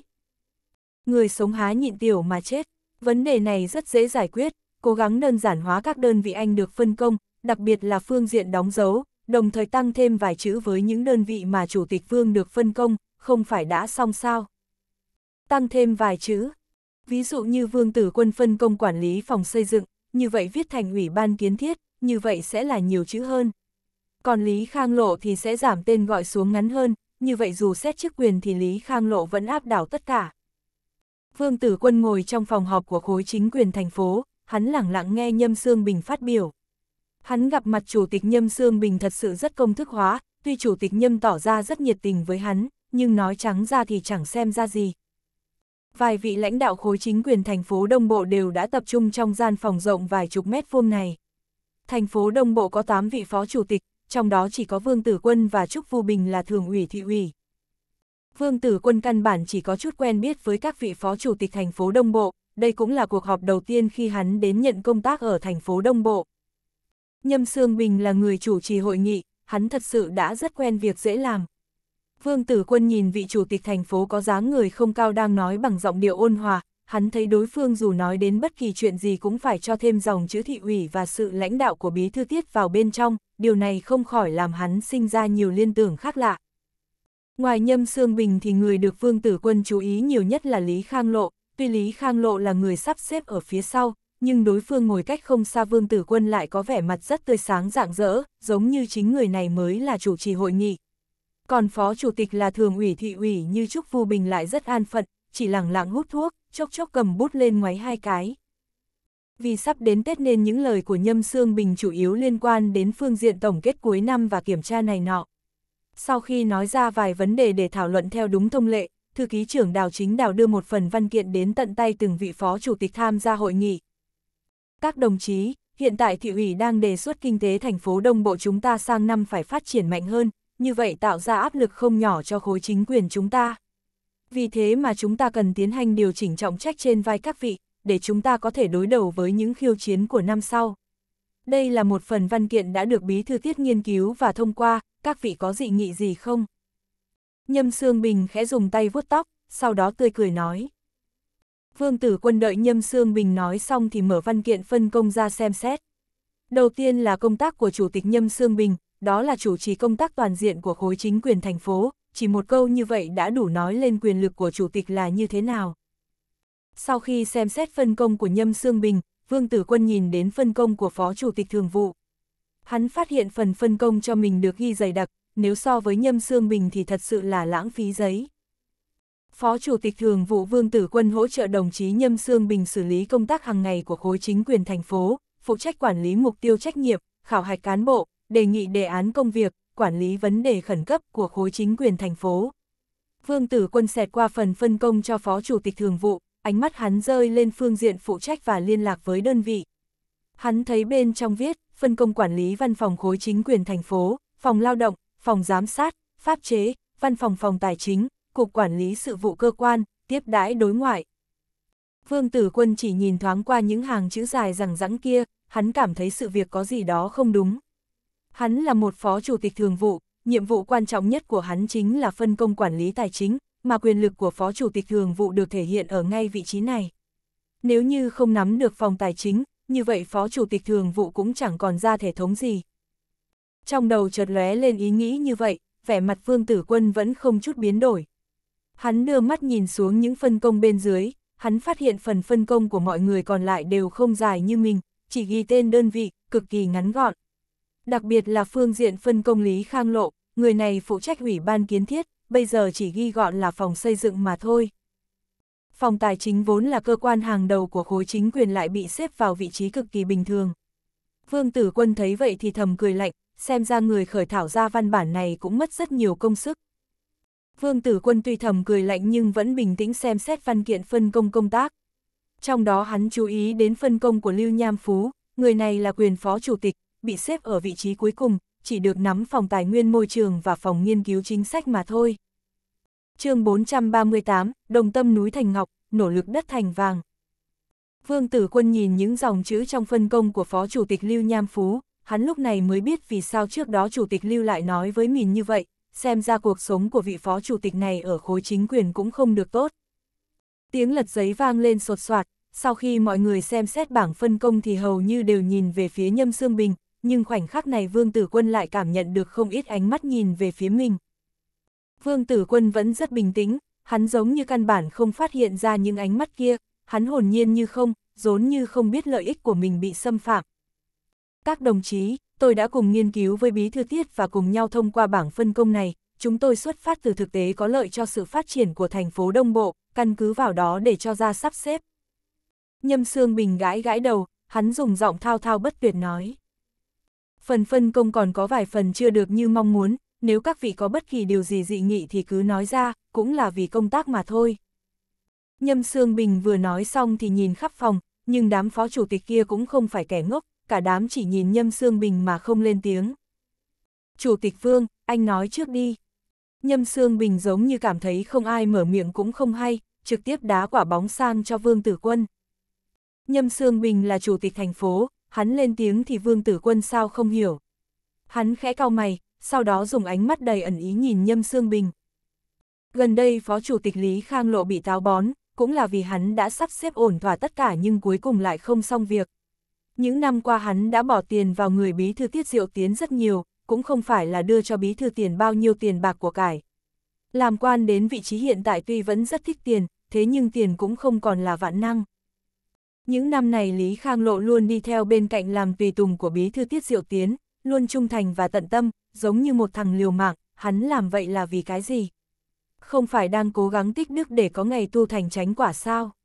Nhưng quan trường là trốn mà tất cả thay đổi trong chớp mắt, dù là sắt thép cũng có thể tan biến như bọt xà phòng, thế cho nên chớp mắt thì tất cả đã không còn. Thực tế Tiết Diệu Tiến đã rất cố gắng, hắn đã thật sự hết lòng hết dạ với vấn đề nhân tuyển cho vị trí Phó Chủ tịch Thường vụ thành phố Đông Bộ. Dựa theo nguyên tắc tổ chức, lần này tỉnh ủy phải tôn trọng ý kiến của Tiết Diệu Tiến, nhưng tôn trọng không phải là tôn trọng vô điều kiện, cuối cùng không phải một con ngựa ô như Vương Tử Quân xuất hiện cướp hết tất cả sao.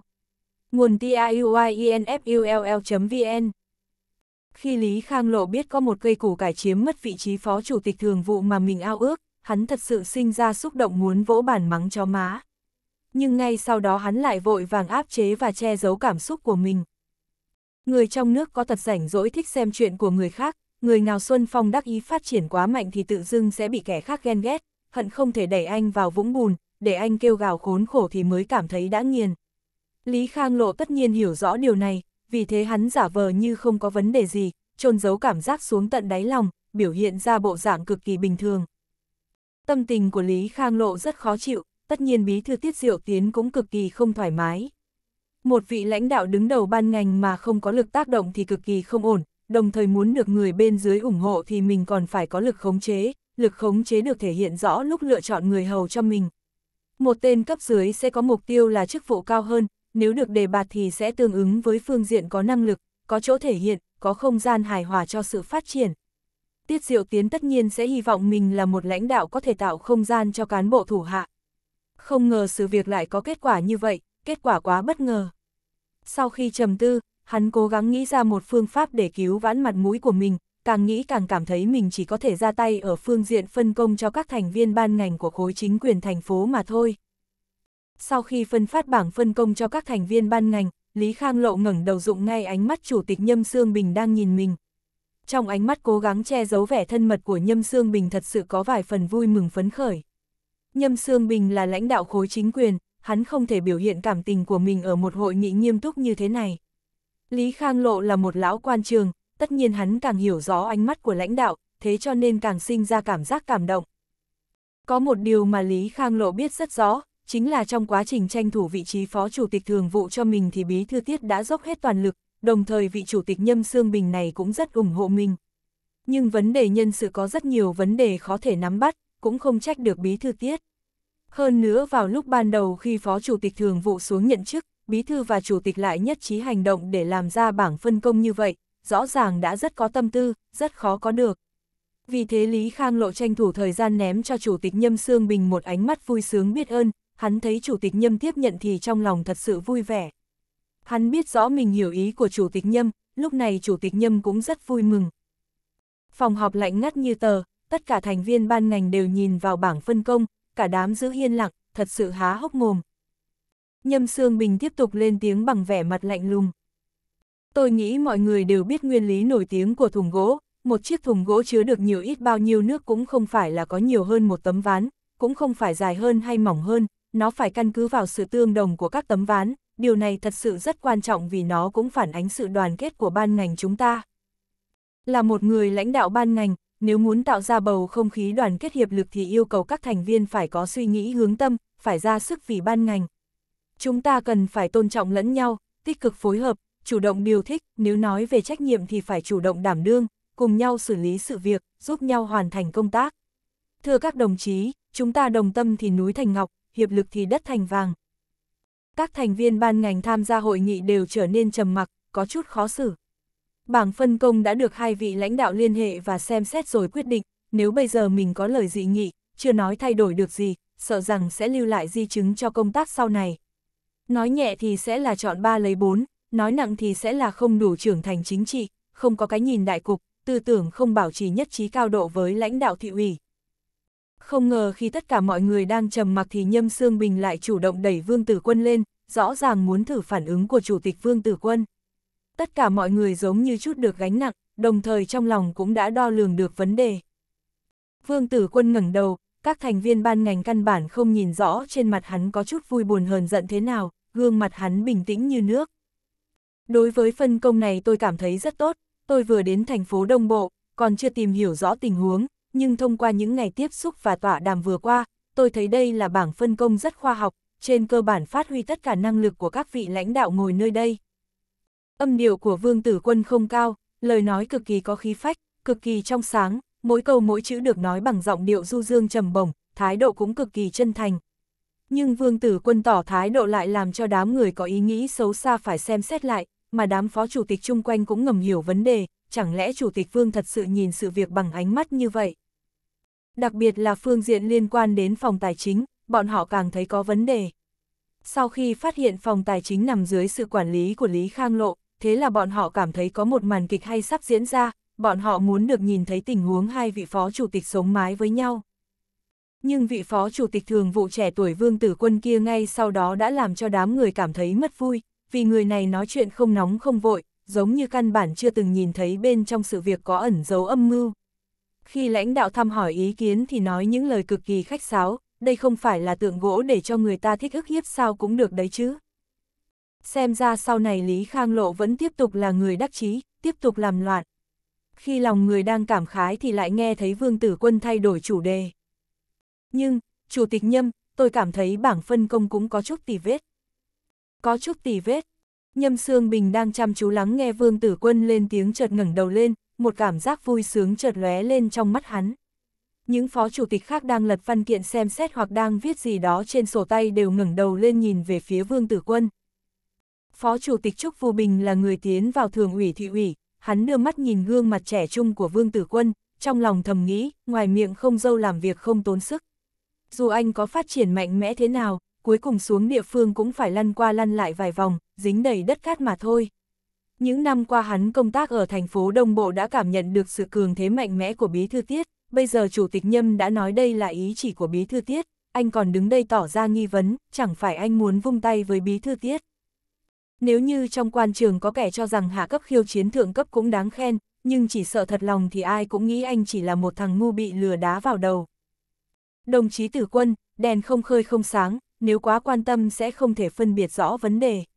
Anh có ý nghĩ gì thì cứ nói, chúng ta họp nơi đây chính là muốn mọi người cùng hiến kế, như vậy sẽ càng có lợi cho chúng ta đẩy mạnh mở rộng và phát triển công tác. Nếu như anh phát hiện ra vấn đề mà không nói, như vậy mới làm cho hội nghị trở nên thảm bại. Nhâm Sương Bình cười ha hả gật đầu với Vương Tử Quân, hắn thản nhiên nói. Lý Khang Lộ luôn ngẩng đầu nhìn tất cả sự việc phát sinh, hắn chỉ cười lạnh với câu nói có chút tỉ vết của Vương Tử Quân. Thầm nghĩ, mới đến vài ngày đã dám nói ra những lời như vậy, chỉ là anh nói ra vấn đề, có ai nghe hay không cũng không nằm trong phạm vi thao túng của anh nữa rồi. Chủ tịch Nhâm, các vị, tôi đồng ý với bảng phân công lần này, hơn nữa cũng kiên quyết ủng hộ. Thế nhưng tôi cảm thấy có một phương diện cần nhắc nhở Chủ tịch Nhâm, đó là tôi cảm thấy phân công cho Chủ tịch Lưu quá đơn giản. Vương Tử Quân đặt bản phân công trong tay xuống rồi cười nói với Nhâm Sương Bình. Chủ tịch Lưu, tôi thật sự có ý kiến về anh, anh xem phần phân công cho tôi xem, thật sự nhiều đến mức làm cho người ta đau đầu. Vì vậy tôi sẽ nắm lấy một người nhàn hạ như anh để nã pháo, anh cần phải có ý kiến với tôi, coi như bắt tôi phải mời khách vào tối hôm nay, tất nhiên người thanh toán phải là chủ tịch nhâm mới được. Vương Tử Quân nói lời ẩn giấu chút ý nghĩ khôi hài, điều này làm cho phòng họp vang lên tiếng cười vui vẻ. Nhưng lúc này mọi người cùng cười và vẻ mặt cũng đã biến đổi, vì cũng không ai ngờ Vương Tử Quân sẽ nói đến vấn đề phân công cho Lưu Nham Phú. Lưu Nham Phú vốn là cán bộ tạm giữ chức, tất nhiên sẽ không được phân công công tác quá nhiều, hơn nữa trước đó còn chọc giận Tiết Diệu Tiến, thế là xem như bị ném vào lãnh cung. Tuy Lưu Nham Phú vẫn là quyền phó chủ tịch, thế nhưng lúc này phần lớn mọi người đều chẳng mấy quan tâm. Ngay cả phòng quản lý môi trường có vài vấn đề quan trọng cũng trực tiếp báo cáo cho Nhâm Sương Bình, căn bản không thèm đếm xỉa đến một vị lãnh đạo được phân công quản lý. Nhâm Sương Bình gật gật đầu, hắn cúi đầu trầm ngâm một lát rồi trầm giọng nói. Tôi ghi nhận góp ý của Chủ tịch Vương, thế này đi, chờ tôi phản ánh cho bí thư tiết rồi nói sau. Phản ánh cho bí thư tiết rồi nói sau, như vậy trên cơ bản chẳng khác nào phủ định đề nghị của Vương Tử Quân.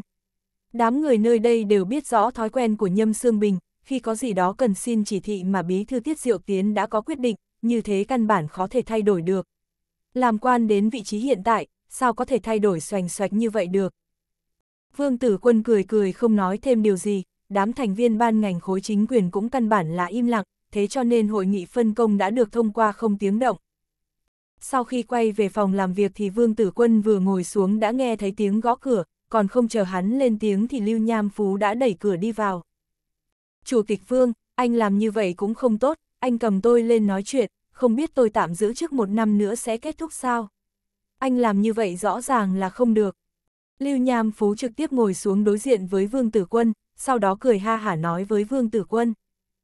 Vương Tử Quân cười cười lấy ra một điếu thuốc ném cho Lưu Nham Phú, lại nói. Chủ tịch Lưu, đây không phải là một năm, một năm không dài cũng không ngắn, chẳng lẽ Chủ tịch Lưu chỉ hy vọng phất tay xem nơi đây là một chút bài trí thôi sao? Lưu Nham Phú cười ha hả, hắn cũng không trả lời vấn đề của Vương Tử Quân. Hắn nhận lấy điếu thuốc, châm lửa hít một hơi rồi thay đổi chủ đề. Chủ tịch Vương, tôi biết rõ tất cả vấn đề của lần phân công này, nhưng tôi cảm thấy anh ở trên hội nghị một là không nói gì, hai là làm rõ vấn đề của mình sẽ hay hơn cầm việc của tôi để cho ra lời đề nghị, vì như thế sẽ không đến nơi đến chốn, không ai quan tâm. Vương Tử Quân nhìn vẻ mặt của Lưu Nham Phú, hắn khẽ cười. Tuy hắn tiếp xúc với Lưu Nham Phú không lâu, thế nhưng hắn lại biết khá nhiều về người này. Khi Lưu Nham Phú đến thành phố Đông Bộ tạm giữ chức thì thật sự hùng tâm bừng bừng, rất muốn công tác cho ra thành tích. Đặc biệt là lúc tiếp đón, hắn càng phát biểu vài lời rất nhiệt tình, khi đó bí thư tiết diệu tiến cũng rất hoan nghênh, đã phân công quản lý vài sự vật. Nhưng tiệc vui chóng tàn, vị phó chủ tịch này đã xúc phạm đến lợi ích của một số người khi thay đổi chế độ của tập đoàn Lam Hà, thế là địa vị ở thành phố Đông Bộ chợt biến đổi, ngay sau đó đã bị điều chỉnh phân công. Người ta có quan tâm hay không thì tôi cũng phải nói rõ, hơn nữa tôi cảm thấy chỉ cần mình nói ra, chắc chắn sẽ có người nhớ kỹ. Vương Tử Quân khẽ cười với Lưu Nham Phú, sau đó dùng giọng tiêu sái nói. Lưu Nham Phú cũng không tiếp tục dây dưa ở vấn đề này với Vương Tử Quân. Hắn nói về các việc liên quan đến gia đình, thông qua lời nói của Lưu Nham Phú, Vương Tử Quân biết rõ vợ chủ tịch Lưu công tác ở Bộ và Ủy ban Trung ương, có một cô con gái rất dễ thương. Nửa giờ sau Lưu Nham Phú rời khỏi phòng làm việc của Vương Tử Quân. Sau khi Lưu Nham Phú đi thì Vương Tử Quân cho ra một đánh giá sơ bộ, người này tư duy nhanh nhẹn, có ý thức trách nhiệm nhưng có vài phương diện không đủ linh hoạt. Trong đầu nghĩ về Lưu Nham Phú, bàn tay của Vương Tử Quân chợt gõ lên mặt bàn, hàng loạt ý nghĩ chợt chấp động trong đầu. Triệu Quốc Lương có kinh nghiệm công tác ở văn phòng tỉnh đoàn, hơn nữa bản thân lại là người linh hoạt, thế cho nên hắn nhanh chóng sát nhập vào công tác ở văn phòng khối chính quyền thành phố. Vì hắn chủ yếu phục vụ cho phó chủ tịch thường vụ, thế cho nên được đám thư ký của văn phòng khối chính quyền gọi là thư ký thứ hai. Triệu Quốc Lương cũng không nổi giận vì cách kêu gọi có vẻ châm chọc kia. Hắn cũng là người nhập gia tùy tục, hắn trực tiếp gọi thư ký nghiêm tiểu ninh của Phó Chủ tịch Trình Hiểu Bình là bí thư tiểu ninh, điều này không khỏi làm cho mọi người nở nụ cười vui vẻ. Em gái tiểu ninh, có gì mà tức giận như vậy? Nếu thật sự tức giận, anh mời em đi dùng cơm. Triệu Quốc Lương cầm một phần văn kiện đi ra khỏi phòng đúng lúc thấy nghiêm tiểu ninh lạnh mặt đi đến, thế là cười ha hả chào hỏi. Anh đúng là miệng chó không mọc được ngà voi, em cũng không có tâm tư tức giận với anh. Nghiêm tiểu ninh vỗ lên văn kiện của mình rồi dùng ánh mắt hung hăng nhìn Triệu Quốc Lương, sau đó xoay người đi về một phía khác. Triệu Quốc Lương biết rõ nghiêm tiểu ninh cũng không tức giận, thế là hắn quấn lấy nói. Tiểu ninh ơi tiểu ninh, em gái tốt, anh thật sự chỉ là vô tâm mà thôi.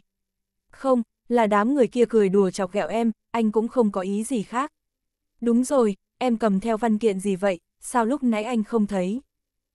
Nghiêm tiểu ninh dù có một số việc bày tỏ lòng dạ hẹp hòi cố hữu của phụ nữ, thế nhưng phương diện công tác lại không chút buông lỏng. Nàng nhìn thoáng qua triệu quốc lương rồi nói. Là văn kiện phân công của các vị lãnh đạo khối chính quyền, vừa mới in ra, anh mau đi lấy về một phần. Phân công. Triệu quốc lương nghe thấy hai chữ kia thì cũng không còn tâm tư trêu đùa nghiêm tiểu ninh, đối với hắn thì đây là chuyện cực kỳ quan trọng với chủ tịch vương. Bây giờ đã có bảng phân công, hắn cũng muốn xem thế nào. Tiểu Ninh, không phải nói Chủ tịch Vương cho ra lời dị nghị à, sao lại có văn bản nhanh như vậy? Thư ký là hình bóng của lãnh đạo, thế cho nên bọn họ hiểu rất rõ những gì phát sinh trong hội nghị phân công của khối chính quyền thành phố, cũng biết lời dị nghị của Vương Tử Quân với phân công của Phó Chủ tịch Lưu Nham Phú.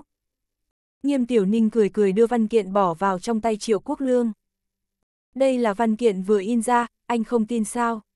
Thế thì anh xem đi. Triệu Quốc Lương cũng không khách khí mà quét mắt nhìn qua, đó thật sự là văn bản phân công của khối chính quyền thành phố. Hắn nhìn nội dung, hắn phát hiện phân công của Phó Chủ tịch Lưu Nham Phú không có gì thay đổi. Cảm ơn Tiểu Ninh, tôi cũng phải đưa một bản về cho Chủ tịch Vương. Triệu Quốc Lương cũng không dám trì hoãn mà đi về phía khoa tổng hợp. Mới đó đã in và phát hành, nghe nói Chủ tịch Vương có lời dị nghị mà. Khi Triệu Quốc Lương đi đến cổng khoa tổng hợp thì nghe thấy có người nghị luận ở bên trong. Chủ tịch Phương dị nghị thì sao? Chuyện gì bí thư tiết đã quyết định thì có thể thay đổi được à? Cánh tay có thể vặn được đùi à? Ôi, có thấy không, phòng tài chính đã về tay của chủ tịch Lý. Không phải quyền to của khối chính quyền thuộc về phó chủ tịch thường vụ sao? Thế nào lại nằm trong tay của chủ tịch Lý? Vậy thì có sao, chỉ cần bí thư tiết tán thành, sợ rằng chủ tịch nhâm còn phải giao các ban ngành khác cho chủ tịch lý. Ôi, vậy thì chủ tịch vương chỉ có thể ngậm bồ hòn làm ngọt mà thôi. Không như vậy thì thế nào? Cảm thấy chủ tịch vương có thể tạo ra sóng gió gì sao? Tôi nghe nói chủ tịch vương cho ra lời dị nghị về chủ tịch lưu chỉ là muốn phát tiết bất mãn trong lòng, không ngờ người ta lại chẳng quan tâm. Triệu Quốc Lương thấy hai người kia càng nói càng khó nghe thì chợt nhíu mày, hắn cất bước càng nặng nề và phát ra âm thanh khá lớn, tiếng giày da va vào nền đất vang lên những âm thanh cộp cộp. Chủ tịch Lý, đây chính là báo cáo tổng kết năm nay và tính toán năm sau của phòng tài chính, mời anh xem qua, sau đó cho ra ý kiến chỉ đạo. Trưởng phòng tài chính La Hạo Sưởng tươi cười đứng lên khỏi ghế, sau đó đưa một phần báo cáo tổng kết công tác đến bàn làm việc của Lý Khang Lộ. Lý Khang Lộ ngồi trên ghế lãnh đạo, hắn tiếp nhận văn kiện dùng ánh mắt không đếm xỉa nhìn qua vài lượt, sau đó thuận tay đặt lên bàn. Trưởng phòng La, những năm gần đây thành phố Đông Bộ chúng ta phát triển kinh tế theo từng ngày, rất nhiều chỗ cần tiền, anh là trưởng phòng tài chính cũng không dễ dàng gì, mà tôi là phó chủ tịch chủ quản tài chính, cũng coi như công tác không dễ. La Hạo Sưởng cười ha hả nói. Chủ tịch Lý, vẫn là ngài nói đến chỗ khó xử của tôi, nhà nghèo thì sẽ phát sinh tình huống ăn ngủ không yên, có đôi khi tôi cũng thật sự rất khốn khổ, áp lực rất lớn. Nhưng tôi vừa nghe nói chủ tịch lý chủ quản tài chính thì bệnh mất ngủ chợt biến mất, không vì gì khác, chính là vì ngài là người nhìn xa trông rộng giỏi bày mưu định kế. Tôi nghĩ rằng ngài sẽ giúp chúng tôi quản lý túi tiền của thành phố thật chặt, nên dùng sẽ dùng, không nên dùng sẽ không bao giờ chi ra, một đồng tiền cũng đừng hòng chạy thoát. La Hạo Sưởng nói ra những lời tâm bốc có chút quá mức, vì trước nay quyền tài chính đều nằm trong tay lãnh đạo chủ chốt của khối chính quyền thành phố, cũng chưa đến lượt một vị phó chủ tịch chủ quản lên tiếng quyết đoán. Nhưng dù La Hạo Sưởng tỏ thái độ quá quát như vậy thì Lý Khang Lộ vẫn cảm thấy rất hưởng thụ và thoải mái. Hắn thầm nghĩ La Hạo Sưởng này ngồi trên ghế trưởng phòng tài chính xem ra cũng có tài năng, chưa nói đến những thứ khác, người này có quan hệ thân thiết với bí thư Tiết Diệu Tiến, hơn nữa cũng cực kỳ thân thiết với chủ tịch Nhâm Sương Bình. chương 439, cần hiệu quả dung núi dọa hổ. Trưởng phòng La, những lời nói của anh thật sự quá cất nhắc tôi rồi, tôi tin tưởng dù là bất kỳ vị lãnh đạo nào nắm khối tài chính cũng có thể vận hành bình thường, phối hợp vận chuyển, nếu như anh mà để xảy ra vấn đề thì bí thư tiết sẽ tha tội cho sao. Ha ha ha, Lý Khang Lộ khẽ nở nụ cười, bộ dạng cực kỳ có khí độ của lãnh đạo. Điều này là đương nhiên, thế nhưng chủ tịch Lý, tôi cảm thấy là anh thì sẽ càng an tâm hơn. Khi tôi nghe nói có một vị cán bộ trẻ tuổi đến nhận chức phó chủ tịch thường vụ, tôi thật sự cảm thấy rất e ngại, chỉ sợ bị vị phó chủ tịch kia lăn qua lăn lại khổ sở, nếu thật sự là như vậy thì trách nhiệm của tôi là rất lớn. Anh thì có trách nhiệm gì chứ? Đừng nói bừa. Lý Khang Lộ nâng ly nước lên uống một ngụm rồi nói. Trưởng phòng la, lát nữa tôi còn có một hội nghị quan trọng, nếu anh không còn chuyện gì thì chúng ta để lần sau hãy tiếp tục trò chuyện. Chủ tịch Lý, thật sự là có chuyện cần báo cáo với ngài. Là thế này, hai ngày qua khách sạn của phòng tài chính có mua được vài món ngon, muốn mời ngài qua nếm thử món cá tiên. Ngài xem, tối hôm nay ngài có rãnh không? La Hạo Sưởng khẽ xoa xoa bàn tay, hắn dùng ánh mắt chờ mong nhìn Lý Khang Lộ rồi nói. Món ngon phát ra từ trong miệng của trưởng phòng La làm cho Lý Khang Lộ cảm thấy hiếu kỳ, hắn suy nghĩ một lát rồi thản nhiên nói. Đến chiều anh liên lạc với tiểu lôi nhé. Vâng, chúng tôi sẽ xếp hàng chào mừng ngài. La Hạo Sưởng thật sự đã quen với tính cách của Lý Khang Lộ, biết rõ chủ tịch Lý nói ra những lời như vậy thì sự việc đã xem như 10 phần thành công. Nếu đổi lại là vị phó chủ tịch nào khác chủ quản phòng tài chính thì La Hạo Sưởng cũng sẽ không tỏ ra nóng sốt như vậy. Nhưng Lý Khang Lộ là ái tướng của Bí Thư Tiết, tuy lần này không thể trở thành phó chủ tịch thường vụ thành phố, nhưng ai cũng biết đây chính là đối tượng được Bí Thư Tiết bồi dưỡng trọng điểm để làm người nối nghiệp. Nếu có thể lôi kéo được phó chủ tịch Lý, như vậy dù là đối với La Hạo Sưởng hay với phòng tài chính cũng là một chuyên vui lớn, căn bản không có gì thiệt hại. Chủ tịch Lý, buổi tối tôi đến đón ngài. La Hạo Sưởng vừa nói vừa đứng lên, chuẩn bị rời khỏi phòng làm việc của Chủ tịch Lý Khang Lộ. Cốc cốc cốc, tiếng gõ cửa khẽ vang lên, Lý Khang Lộ nghe thấy như vậy thì khẽ nhíu mày, hắn cũng không ngẩng đầu lên mà nói hai chữ, vào đi, sau đó ánh mắt mới khẽ nhìn ra cửa. Chủ tịch Lý, thư ký lôi mở cửa có chút bối rối, hắn nhanh chóng đi vào phòng. Khi Lý Khang Lộ lên tiếng thì hắn mở miệng chào chủ tịch bằng giọng điệu khá rồn rập. Có chuyện gì? Vẻ mặt Lý Khang Lộ chợt trầm xuống, tuy hắn vẫn rất thỏa mãn với thư ký của mình, thế nhưng bộ dạng hấp tấp của đối phương lại làm cho hắn cảm thấy khá bực bội. Bí thư tiết mời anh đi qua một chút. Thư ký Lôi Vân Khai rất quen thuộc tính cách của Phó Chủ tịch Lý Khang Lộ, lúc này thấy lãnh đạo cao mày thì sao không hiểu, thế là hắn cũng chẳng quan tâm giải thích, tranh thủ trầm giọng nói.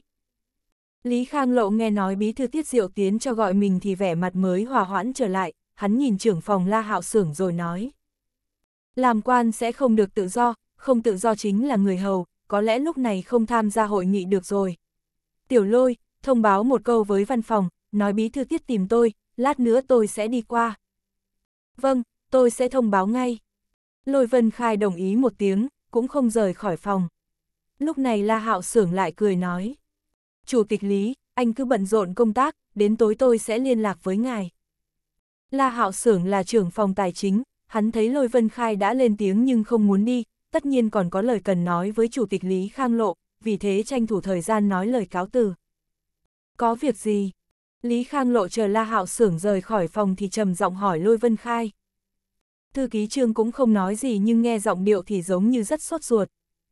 Lôi Vân Khai nhìn thoáng qua Lý Khang Lộ, sau đó khẽ lên tiếng báo cáo.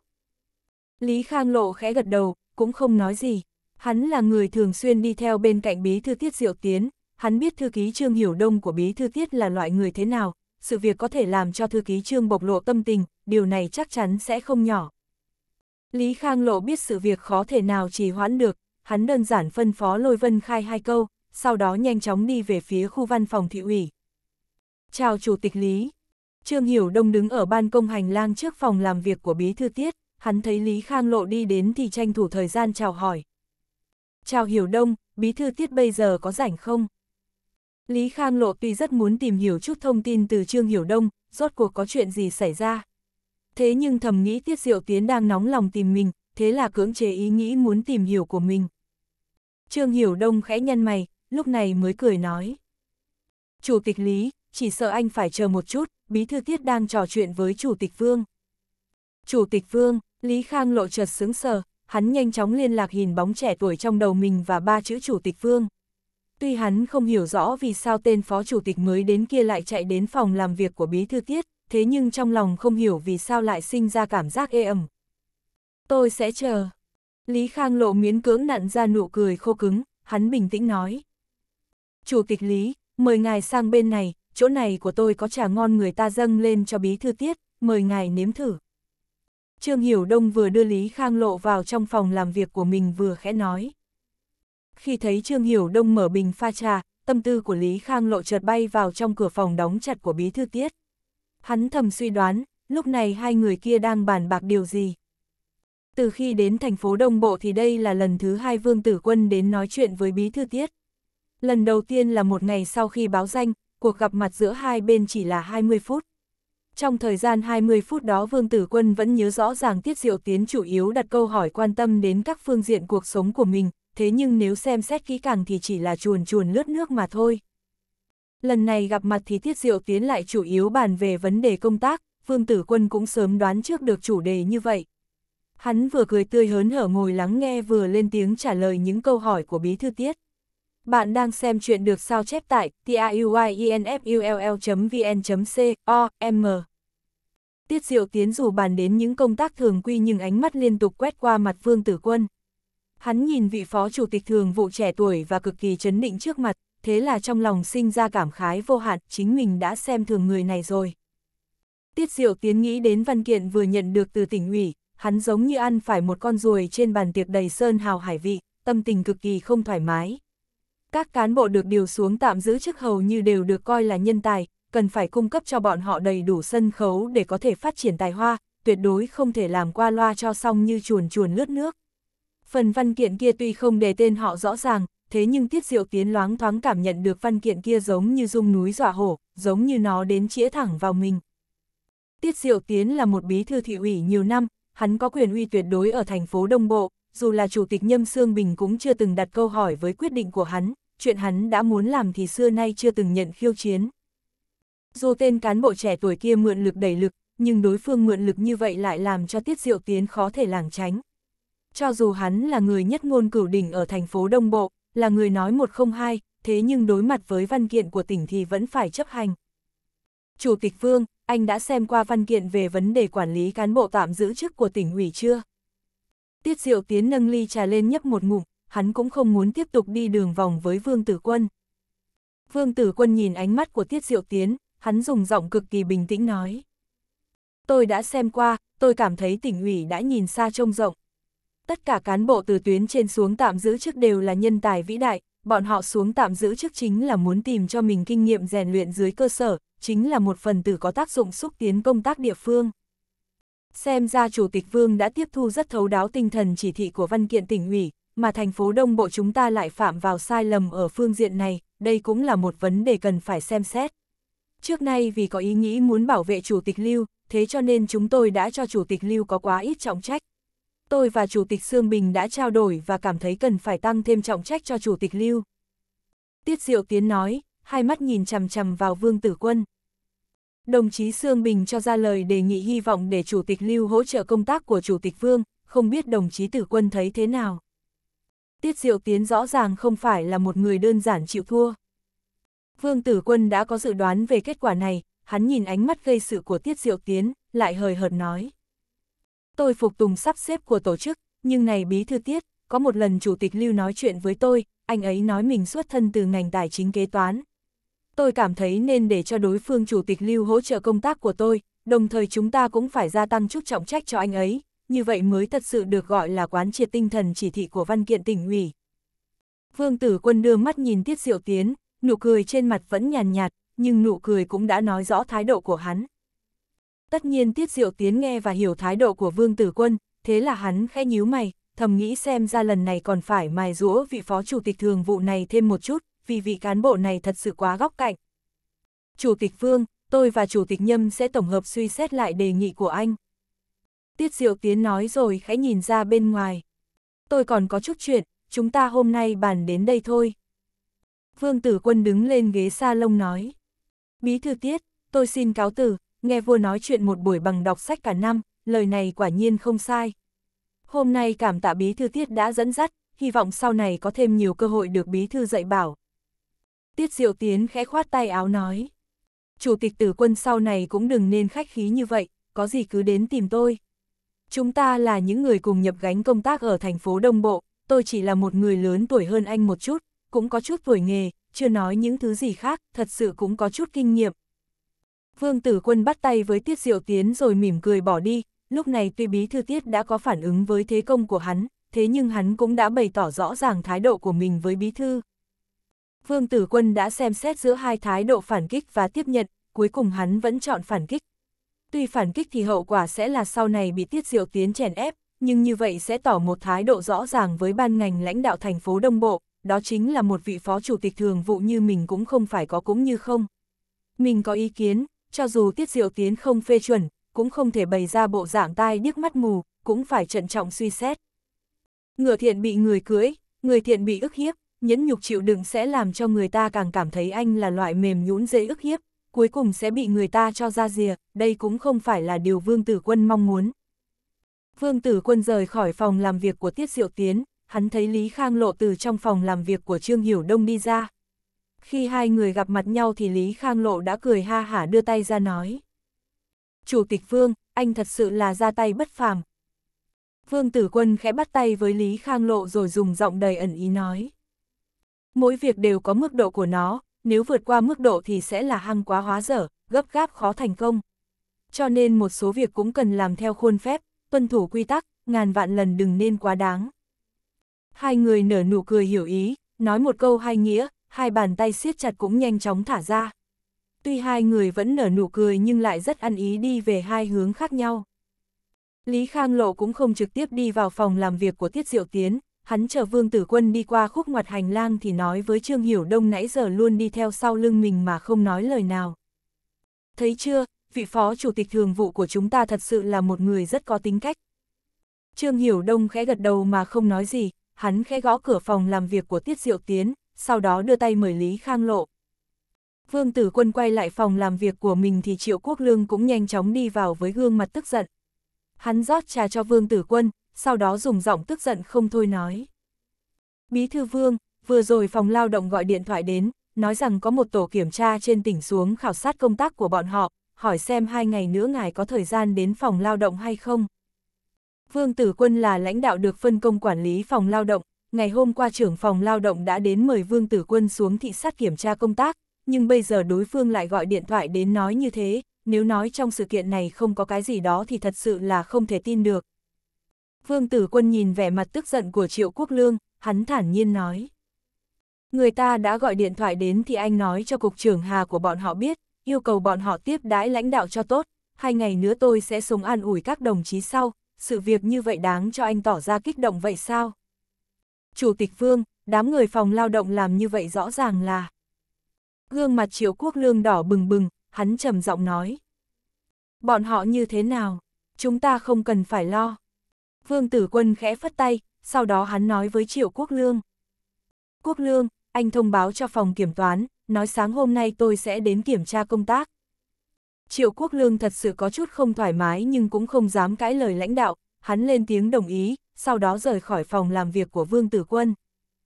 Không chờ Vương Tử Quân xuất phát thì Lưu Nham Phú đã tìm đến tận cửa, hắn đi vào cười nói với Vương Tử Quân. Chủ tịch Vương, tôi cũng đã quyết định thành thật công tác thêm một năm ở thành phố Đông Bộ này, anh cần gì phải cưỡng chế đưa tôi lên lò nướng. Cái gì là đưa lên lò nướng? Có lãnh đạo tìm anh nói chuyện rồi sao? Vương Tử Quân đi ra trước bàn làm việc của mình, hắn cười ném cho Lưu Nham Phú một điếu thuốc, sau đó mời đối phương ngồi xuống ghế salon. Lưu Nham Phú đến tất nhiên không phải là hỏi tội Vương Tử Quân, hắn vừa châm thuốc vừa nói. Chủ tịch Vương, vừa rồi Chủ tịch Nhâm đã tìm gặp tôi, nói là sẽ gia tăng trọng trách cho tôi, đưa phòng tài chính cho tôi chủ trì phụ trách. Anh vừa đến nhưng có lẽ cũng hiểu rõ tình huống tài chính của thành phố, chính là khắp nơi đều há miệng chờ ăn, bây giờ ép tôi đến chống đỡ, không phải muốn lấy mạng tôi sao? Lưu Nham Phú tuy ngoài miệng không ngừng kêu khổ nhưng nụ cười trên mặt lại biểu hiện rõ tâm tình vào lúc này. Hắn là một quyền phó chủ tịch, khi mới đến thành phố Đông Bộ thì còn đầy nhiệt huyết, nhưng sau vài lần ngã đổ thì lưu lạc đến mức khó thể ngẩng đầu lên, bị phân công nắm phòng vệ sinh môi trường và phòng nghiên cứu chính sách, điều này làm hắn cảm thấy rất ngột ngạt. Địa vị công tác của Lưu Nham Phú thật sự không còn gì, tuy hắn chỉ là cán bộ xuống tạm giữ chức nhưng như vậy cũng cực kỳ không thoải mái, có ai hy vọng mình chỉ bị xem là một vật bài trí cho vui.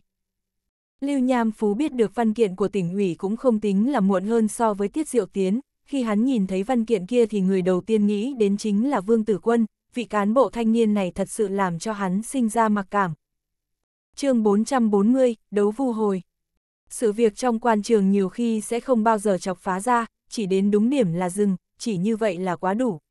Cũng chỉ có nhân gian cãi nhau mới mắng ra tất cả điểm xấu của nhau, có thể dùng mọi thủ đoạn mà thôi. Lưu Nham Phú thấy vị phó chủ tịch thường vụ trẻ tuổi kia nói chuyện với mình luôn tỏ ra cực kỳ bình tĩnh không chút sợ hãi, tự tin ung dung, điều này là hắn sinh ra cảm giác mặc cảm, so sánh với người ta thật sự là chênh lệch quá lớn. Lưu Nham Phú là người từ tuyến trên xuống đây tạm giữ chức, tất nhiên hắn cũng không phải là một người cô đơn không bối cảnh. Tất cả những người có thể lên đến cấp phó ở thành phố, có ai không có cây lớn sau lưng. Đã đến vị trí lãnh đạo cấp thành phố thì cũng không nên ỉ người sau lưng mà hoành hành ngang ngược, càng phải biểu hiện quy củ, những gì nên tuân thủ phải tuân thủ.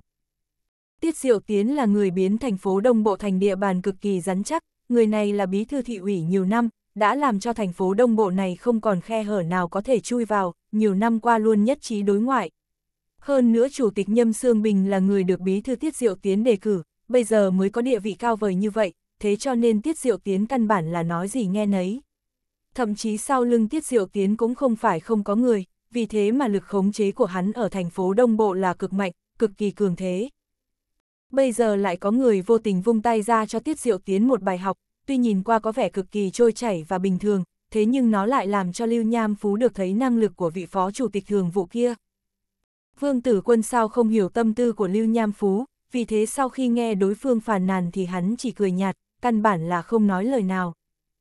Chủ tịch Vương, tối hôm nay anh phải mời tôi dùng cớ mới được, coi như an ủi tâm linh của tôi. Lưu Nham Phú đối mặt với một vương tử quân chỉ mỉm cười mà không đáp lời, thế là cảm thấy những lời của mình giống như đánh lên một chiếc gối bông, có chút xấu hổ. Thế nhưng hắn vẫn tiếp tục cố gắng, cũng chỉ có thể mỉm cười khởi xướng một lời mời. Vương tử quân mới đến thành phố Đông Bộ, hắn cũng không muốn tạo ra xu thế tranh chấp quyền lực với người ta, đồng thời cũng không muốn biến mình thành một phần tử giật dây để các thế lực ở thành phố Đông Bộ này trở mặt nhau. Tục ngữ nói rất hay, một cây làm chẳng lên non, ba cây trụm lại lên hòn núi cao, thế cho nên làm tốt quan hệ với Lưu Nham Phú cũng chính là một tính toán trong lòng hắn.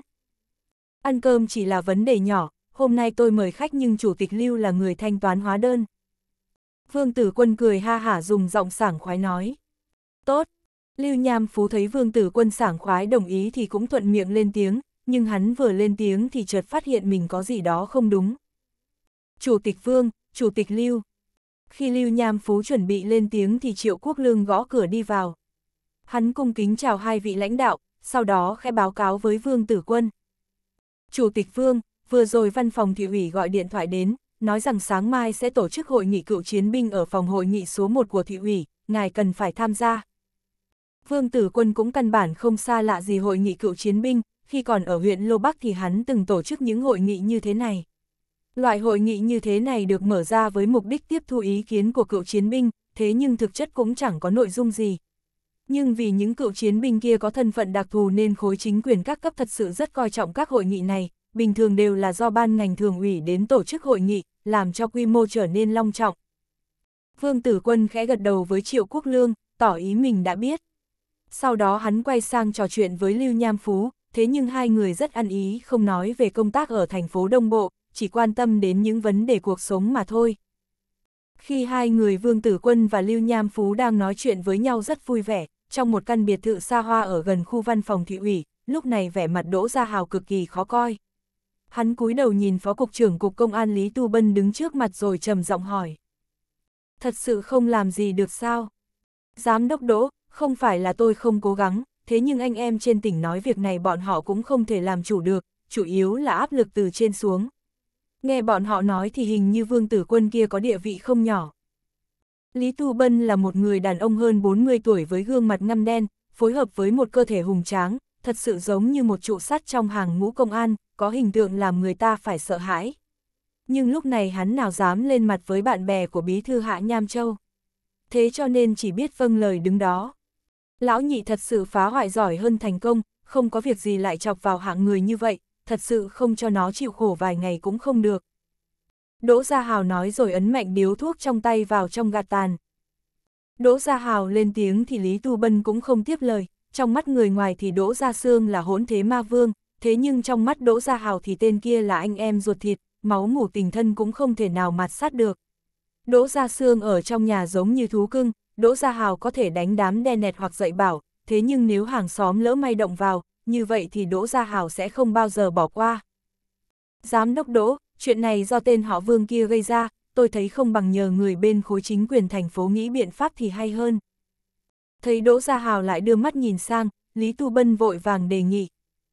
Họ Vương kia căn bản là người đường muối đều khó bỏ vào, nếu có thể tìm được biện pháp, tôi còn để cho sự việc đến mức này sao? Đỗ Gia Hào xoa xoa thái dương rồi dùng giọng vô kế khả thi nói. Khi hai người Đỗ Gia Hào và Lý Tu Bân đang nói chuyện thì điện thoại vang lên, Đỗ Gia Hào nhìn số điện thoại gọi đến, hắn có chút trầm ngâm, sau đó hắn bấm nút nghe. Đỗ Gia Hào đặt điện thoại xuống, hắn trầm ngâm một chút rồi mới nói. Anh Lý, Chủ tịch Lý đi đến Huy Đô, tôi phải đi tiếp đón. Lý Tu Bân hiểu rõ ý nghĩ của Đỗ Gia Hào, hắn gật đầu nói. Giám đốc Đỗ, tôi đi đây. À, đúng rồi, nếu anh có thời gian thì nên nói vài lời tốt đẹp với Chủ tịch Lý, vì vị trí của Bí thư Ủy ban Tư pháp kiêm Cục trưởng Cục Công an là quá nặng. À, tôi biết rồi. Đỗ Gia Hào khẽ gật đầu, sau đó dùng ánh mắt cực kỳ ẩn ý nhìn thoáng qua Lý Tu Bân, sau đó đi ra ngoài cửa. Nửa giờ sau Đỗ Gia Hào xuất hiện trong một gian phòng ấm áp như mùa xuân, lúc này Phó Chủ tịch Lý Khang Lộ đã nằm chồng vó trên giường để cho một cô gái xinh đẹp đang dùng hai bàn tay tinh xảo mát xa giải khuây. Chủ tịch Lý Đỗ Gia Hào tùy ý bắt chuyện với Lý Khang Lộ, hắn cầm lấy chai rượu đỏ trên bàn rót cho Lý Khang Lộ một ly, sau đó lại rót rượu vào một chiếc ly không cho mình. Lý Khang Lộ khẽ cười với Đỗ Gia Hào, lại nói. Gia Hào, mộng mộng mát xa rất đặc biệt, cô ấy nhấn một cái làm cho toàn thân tôi thật sự rất thoải mái. Lý Khang Lộ tuy cười rất thoải mái nhưng Đỗ Gia Hào lại hiểu ra vấn đề, đó là lúc này trong lòng chủ tịch Lý cũng không được thoải mái như vậy. Hắn kết giao với Lý Khang Lộ nhiều năm, nào đâu chỉ biết một chút về Lý Khang Lộ. Vì chỉ khi nào vị chủ tịch Lý kia cực kỳ mất hứng mới đi mát xa mà thôi. Còn vì sao Lý Khang Lộ lại mất hứng thì lúc này Đỗ Gia Hào thật sự không biết. Hắn nâng ly rượu trong tay rồi khẽ uống một ngụm, sau đó thở dài nói. Chủ tịch Lý, lúc này anh em xem như gặp phải phiền toái, Gia Sương và Hồ Tử còn đang bị Cục Công an tỉnh bắt giữ, tôi đã đi tìm khắp các quan hệ nhưng con bà nó đều là kẻ mù đốt đèn, đến bây giờ còn căn bản chưa được thả ra. Lý Khang lộ à một tiếng, hắn cũng không đáp lời, hai mắt khép hờ giống như đang ngủ.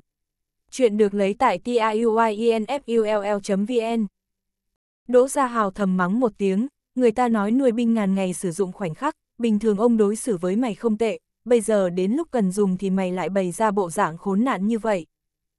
Dù Đỗ Gia Hào đang oán thẩm Lý Khang Lộ thế nhưng lại không có bất kỳ biểu hiện gì trên mặt, hắn chỉ thành khẩn xin sỏ. Chủ tịch Lý, Gia Sương thật sự không ra gì, thế nhưng nó dù gì cũng là anh em của tôi, sự việc này dù thế nào cũng mong anh giúp đỡ một tay. Hơn nữa hai người bọn họ cũng không phạm vào lỗi lầm gì quá lớn, nếu cứ để cho bọn họ bị người ta đưa đi như vậy, không phải cục công an tỉnh vươn tay quá dài rồi sao? Cũng không phạm phải sai lầm gì lớn.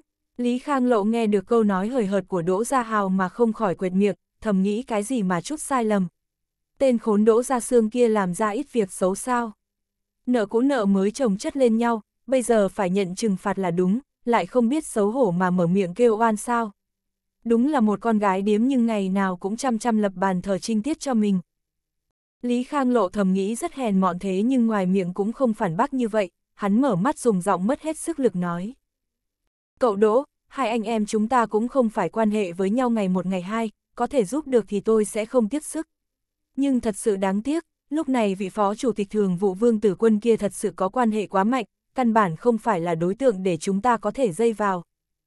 Chủ tịch Lý, Đỗ Gia Hào tôi quyết không muốn làm khó anh, tôi chỉ cảm thấy chuyện này nên nói cho bí thư tiết biết một chút.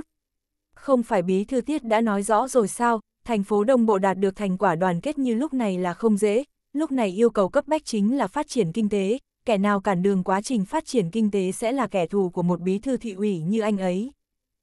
Đỗ Gia Hào đặt ly rượu trong tay xuống, hắn dùng giọng điệu trầm thấp nói. Lý Khang Lộ khẽ cười, hắn khẽ lật mình trong lúc được mát xa, sau đó vung tay cầm ly rượu uống một ngụm nói. Chuyện này tôi cũng không thể nào báo cáo cho bí thư tiết được. Đỗ Gia Hào không mở miệng, hắn chỉ lặng lặng chờ đợi, nếu Lý Khang Lộ đã ở miệng thì chắc chắn sẽ có biện pháp. Ngày mai có hội nghị cựu chiến binh, các vị lãnh đạo thị ủy đều phải tham gia. Lý Khang Lộ nói xong thì nở nụ cười cực kỳ ẩn ý, lại uống cạn ly rượu trong tay. Nụ cười trên mặt Đỗ Gia Hào chợt trở nên sáng lạn, hắn nâng ly rượu cùng với Lý Khang Lộ, sau đó cũng uống cạn. Lúc này thành phố Đông Bộ rất lạnh, bên ngoài gió Đông Bắc thổi lạnh thấu xương, nhưng trong phòng họp của thành phố Đông Bộ lại rất ấm áp. Phòng họp được sắp xếp rất tốt, những chiếc bàn tròn được bày đặt khắp nơi, trên bàn là các món điểm tâm, những bức biểu ngữ với nội dung chào mừng hội nghị cựu chiến binh được răng lên bên trên. Vương Tử Quân theo sát phó bí thư thị ủy Bành Quang Binh đi vào trong phòng họp. Bây giờ Vương Tử Quân là một vị thường ủy thị ủy xếp ở vị trí thứ 6, đây là hội nghị mà các vị thường ủy thị ủy đều phải tham gia, thế cho nên cách sắp xếp vẫn thông theo lệ cũ. Những tiếng vỗ tay vang lên nhiệt liệt, lúc này xem như bữa tiệc bắt đầu. Các vị cựu chiến binh đều đã về hưu rất nhàm chán, hàng năm bọn họ đều rất chờ mong những hội nghị như thế này, vì vậy sau khi các vị thường ủy thị ủy đi vào thì đều được chào đón bằng những tràng pháo tay nhiệt liệt. Bí thư Tiết Diệu Tiến cũng xuất hiện trong hội nghị, lúc này hắn cũng không còn lạnh lùng như thường ngày, gương mặt sáng lạn với nụ cười cực kỳ khiêm tốn. Khi hắn ngồi xuống cũng không quên cười ha hả chào các vị cựu chiến binh chung quanh, những câu, lão lãnh đạo, liên tục được hắn nói ra khỏi miệng. Tuy đây là hội nghị cựu chiến binh được tổ chức đúng thời điểm trong năm, nhưng Vương Tử Quân cảm thấy hội nghị thế này căn bản không liên quan gì đến mình. Có bí thư và chủ tịch đang ngồi đây, đó chính là hai ngôi sao sáng của thường ủy thị ủy, nhiều nhất thì chút nữa mở tiệc liên hoan Vương Tử Quân phải tiến lên mời rượu các cựu chiến binh mà thôi. Chương trình hội nghị dù được lập trình sẵn thế nhưng vẫn rất nhiệt liệt. Hội nghị được chủ trì bởi Phó Bí Thư Phạm Bằng Phi, dưới lời mời của Phó Bí Thư Phạm Bằng Phi, Chủ tịch Nhâm Sương Bình tiến lên báo cáo công tác của khối chính quyền thành phố trong thời gian một năm qua cho các cựu chiến binh. Bí thư thị ủy Tiết Diệu Tiến thì chủ yếu nói về những trọng điểm công tác sang năm, tất nhiên trong lúc nhấn mạnh các trọng điểm công tác thì hắn vẫn không quên kết hợp đảng ủy chính quyền để đẩy mạnh công tác của cựu chiến binh. Các vị lãnh đạo đã rời khỏi cương vị công tác tất nhiên sẽ vỗ tay nhiệt liệt với những lời phát biểu của lãnh đạo đảng ủy chính quyền thành phố. Ngay sau đó là buổi tọa đàm của các cựu chiến binh, sau đó nữa sẽ là kết thúc. Các vị lãnh đạo, thành phố Đông Bộ có được thành tích hôm nay không ly khai cơ sở kiên cố, không ly khai tâm huyết trong nhiều năm qua, không ly khai mồ hôi và trí tuệ của các cựu chiến binh, đồng thời còn có sự quan tâm giúp đỡ của các lão lãnh đạo sau khi về hưu. Hy vọng các vị còn tiếp tục quan tâm giúp đỡ công tác của thành phố Đông Bộ, mong mọi người nhắc nhở nhiều hơn, đề nghị và nghĩ kế nhiều hơn, trợ giúp chúng tôi làm tốt công tác. Chương trình hội nghị tiếp theo chính là mời các lão lãnh đạo nói đôi lời, đề xuất vài ý kiến, hiến kế cho sự phát triển của thành phố Đông Bộ. Tiết Diệu Tiến vỗ tay dẹp loạn rồi cười ha hả chắp tay nói với các cựu chiến binh. Bí thư Tiết, Trường Giang sóng sau đè sóng trước, đời sau mạnh hơn đời trước, thành phố Đông Bộ có thể đẩy mạnh phát triển đến ngày hôm nay, thật sự làm cho người ta vui mừng vô hạn. Đáng lý ra đám ông lão chúng tôi đã về hưu cũng không nên vung tay múa chân làm cho các vị mất hứng, nhưng có một số việc không thể không nhìn vào, hôm nay không thể không nói ra. Khi đám cựu chiến binh đang đùn đẩy nhau lên tiếng thì một ông cụ hơn 70 đứng lên trầm giọng nói. Khi thấy ông lão kia đứng lên thì Tiết Diệu Tiến vừa ngồi xuống đã phải bật dậy, hắn vội vàng nói. Lão chủ tịch, ngài nói những lời này chính là phê bình tôi không kịp thỉnh giáo ngài. Chúng tôi rốt cuộc cũng không đủ kinh nghiệm, thành phố Đông Bộ là một con thuyền lớn, cần mọi người cùng nhau cầm lái, nếu các vị lãnh đạo có gì thấy không vừa mắt thì cứ nói để ban ngành tiếp thu sửa đổi. Khi Tiết Diệu Tiến lên tiếng thì hình bóng của Lý Khang Lộ chợt xuất hiện bên ngoài phòng họp. Dù hắn biết mình không nên xuất hiện ở đây, thế nhưng hắn là đạo diễn vở kịch hay hôm nay, hắn không thể nào ngồi yên ở phòng làm việc của mình để chờ kết quả cho được. Hắn nhịn không được muốn đi đến tận nơi để được mắt thấy tai nghe, để thỏa thuê mãn nguyện, thế là hắn chạy đến chỗ này. Phòng vệ quốc là lão chủ tịch của thành phố Đông Bộ, có thể nói có công khai sáng với Tiết Diệu Tiến. Năm xưa nếu chủ tịch phòng vệ quốc không xuất lực thì Tiết Diệu Tiến không nhất định từ vị trí chủ tịch huyện tiến lên bí thư huyện ủy, lại trở thành một vị phó chủ tịch trẻ tuổi nhất thành phố Đông Bộ, sau đó con đường làm quan phát triển như diều gặp gió. Vì phần tình nghĩa đó nên bí thư tiết trước nay đều khắc ghi công lao của chủ tịch phòng vệ quốc, hầu như đến ngày lễ Tết đều đến thăm hỏi tặng quà lãnh đạo. Cũng vì Tiết Diệu Tiến thường đến thăm hỏi nên phòng vệ quốc tuy đã về hưu nhưng lại có lực ảnh hưởng khá mạnh ở thành phố Đông Bộ. Có nhiều người muốn tìm đến nhờ cậy Tiết Diệu Tiến đều thích đi đường vòng đến bên cạnh phòng vệ quốc, lúc không có việc gì đều điên cuồng chạy về nhà lão chủ tịch phòng vệ quốc. Khi thấy phòng vệ quốc mở miệng thì Lý Khang lộ thầm nghĩ, Đỗ Gia Hào kia rõ ràng là mánh khóe thông thiên, có thể sai bảo được lão chủ tịch để mở miệng nói ra những lời như thế. Đây là một hội nghị vui vẻ, nếu chủ tịch phòng vệ quốc nã pháo, như vậy chỉ sợ khoảng thời gian sau này của chủ tịch Vương Tử Quân cũng không còn tự do tự tại như trước nữa. Lý Khang Lộ thật sự rất đắc ý, hắn rất muốn nghe tiếp nhưng lý trí lại mách bảo không nên ở lại đây quá lâu. Hắn có chút do dự, cuối cùng dùng ánh mắt đắc ý nhìn Vương Tử Quân đang ngồi trên bàn tròn rồi nhanh chóng bỏ đi. Bí thư tiết, có những lời này của anh thì tôi cũng an tâm. Phòng vệ quốc khẽ gật đầu với Tiết Diệu Tiến, sau đó lão đưa mắt nhìn các vị thường ủy thị ủy, ánh mắt lão chủ tịch quét qua làm cho đám người không khỏi rét run. Vương Tử Quân nhìn chủ tịch trước kia của thành phố Đông Bộ, cũng không sinh ra ý nghĩ gì khác. Nhưng khi ánh mắt của phòng vệ quốc rơi lên người hắn, lúc này hắn mới chợt xin ra một ý nghĩ khác thường, xem ra có chuyện không hay sắp xảy ra. Bí thư tiết, chủ tịch nhâm, lời này tôi vốn cũng không nên nói ra nhưng lúc này cũng không thể không nói. Tôi cảm thấy tất cả các vị lãnh đạo ngồi nơi đây đều là tốt đẹp, đều hợp cách, đều toàn tâm toàn ý nhiệt tình chấp chính vì dân. Nhưng cũng có một vài cán bộ có hành vi cần chúng ta xem xét lại. Phòng vệ quốc nói rồi dùng ngón tay gõ mạnh lên mặt bàn. Những đồng chí này cầm pháp luật làm trò đùa, đối phương vì uống vài ly rượu mà say xỉn nói lời không hay, tôi nghĩ các vị đồng chí ở đây cũng từng rơi vào tình huống như vậy, thế nhưng người đó lại bị vị đồng chí kia yêu cầu công an đưa đi. Điều này còn chưa tính, Cục Công an thành phố chúng ta đã tiến hành cảnh cáo và sắp phóng thích, nhưng vị đồng chí kia còn thông qua Cục Công an tỉnh để đưa người đi. Cái này gọi là công bộc kiểu gì? Công bộc nghĩa là làm ông nội người ta sao? Câu cửa miệng luôn là một cây làm chẳng nên non, anh làm như vậy chẳng phải không buông tha cho người ta sao? Đó chẳng phải là đang lợi dụng chức quyền để trả đũa cá nhân sao? Hành động của người này không những làm ô uế hình tượng của cán bộ lãnh đạo thành phố Đông Bộ chúng ta, còn làm ô uế thể diện của khối chính quyền thành phố. Đối với loại hành vi này, Đảng ủy thành phố Đông Bộ chúng ta nhất định không thể nuông chiều, không thể tha thứ. Phòng vệ quốc tuy không nói tên nhưng đám thường ủy ngồi nơi đây hầu như đều hiểu xích mích và những gì phát sinh giữa Vương Tử Quân với Đỗ Gia Sương, đặc biệt là bí thư ủy ban tư pháp kiêm cục trưởng cục công an Hạ Nham Châu, hắn càng là người rõ ràng nhất. Sau khi Đỗ Gia Sương và Lý Dược Hổ bị cục công an tỉnh đưa đi thì Hạ Nham Châu thật sự rất tức giận, dù sao thì sự kiện này cũng cho hắn một tát lên mặt. Nhưng quan cao đè chết người, Vương Tử Quân là một vị thường ủy thị ủy, thế cho nên dù hắn có bức bối cũng không thể tìm gặp và chất vấn chủ tịch Vương. Hắn cũng chỉ có thể áp chế lửa giận trong lòng mà thôi. Nhưng bây giờ lão chủ tịch phòng vệ quốc lại nói ra sự kiện này, điều này làm cho Hạ Nham Châu cảm thấy cực kỳ thoải mái. phòng vệ quốc nói ra sự việc trước mặt một nhóm cựu chiến binh của thành phố Đông Bộ, như vậy thì Vương Tử Quân chỉ có thể chờ bị gõ đầu mà thôi. Việc này lan truyền ra ngoài sợ rằng sẽ cho vị phó chủ tịch thường vụ chưa kịp đứng vững bàn chân một bài học nhớ đời, đồng thời cũng mở mắt cho người này, bía rõ tình thế hiện tại. Dù không làm cho đối phương ngã đổ, thế nhưng cũng đủ để ghi nhớ mãi không quên. Tiết Diệu Tiến cũng căn bản không biết chuyện này, càng không biết đó là sự kiện gì, đó là tác dụng của con gái tiết nhất phàm của hắn. Bây giờ nghe thấy lão lãnh đạo nói như vậy thì gương mặt nhanh chóng trở nên lạnh lẽo. Lão chủ tịch, ngài bớt nóng giận, ngài cứ yên tâm, tôi và thị ủy sẽ điều tra đến cùng, dù liên quan đến ai cũng tuyệt đối không nuông chiều. Tiết Diệu Tiến có thể lên vị trí bí thư thị ủy thì không phải kẻ đầu óc ngu si, vừa rồi phòng vệ quốc luôn nhìn về phía Vương Tử Quân, hắn sao không hiểu đối tượng làm cho phòng vệ quốc nổi giận chính là vị phó chủ tịch thường vụ vừa mới đến nhận chức kia.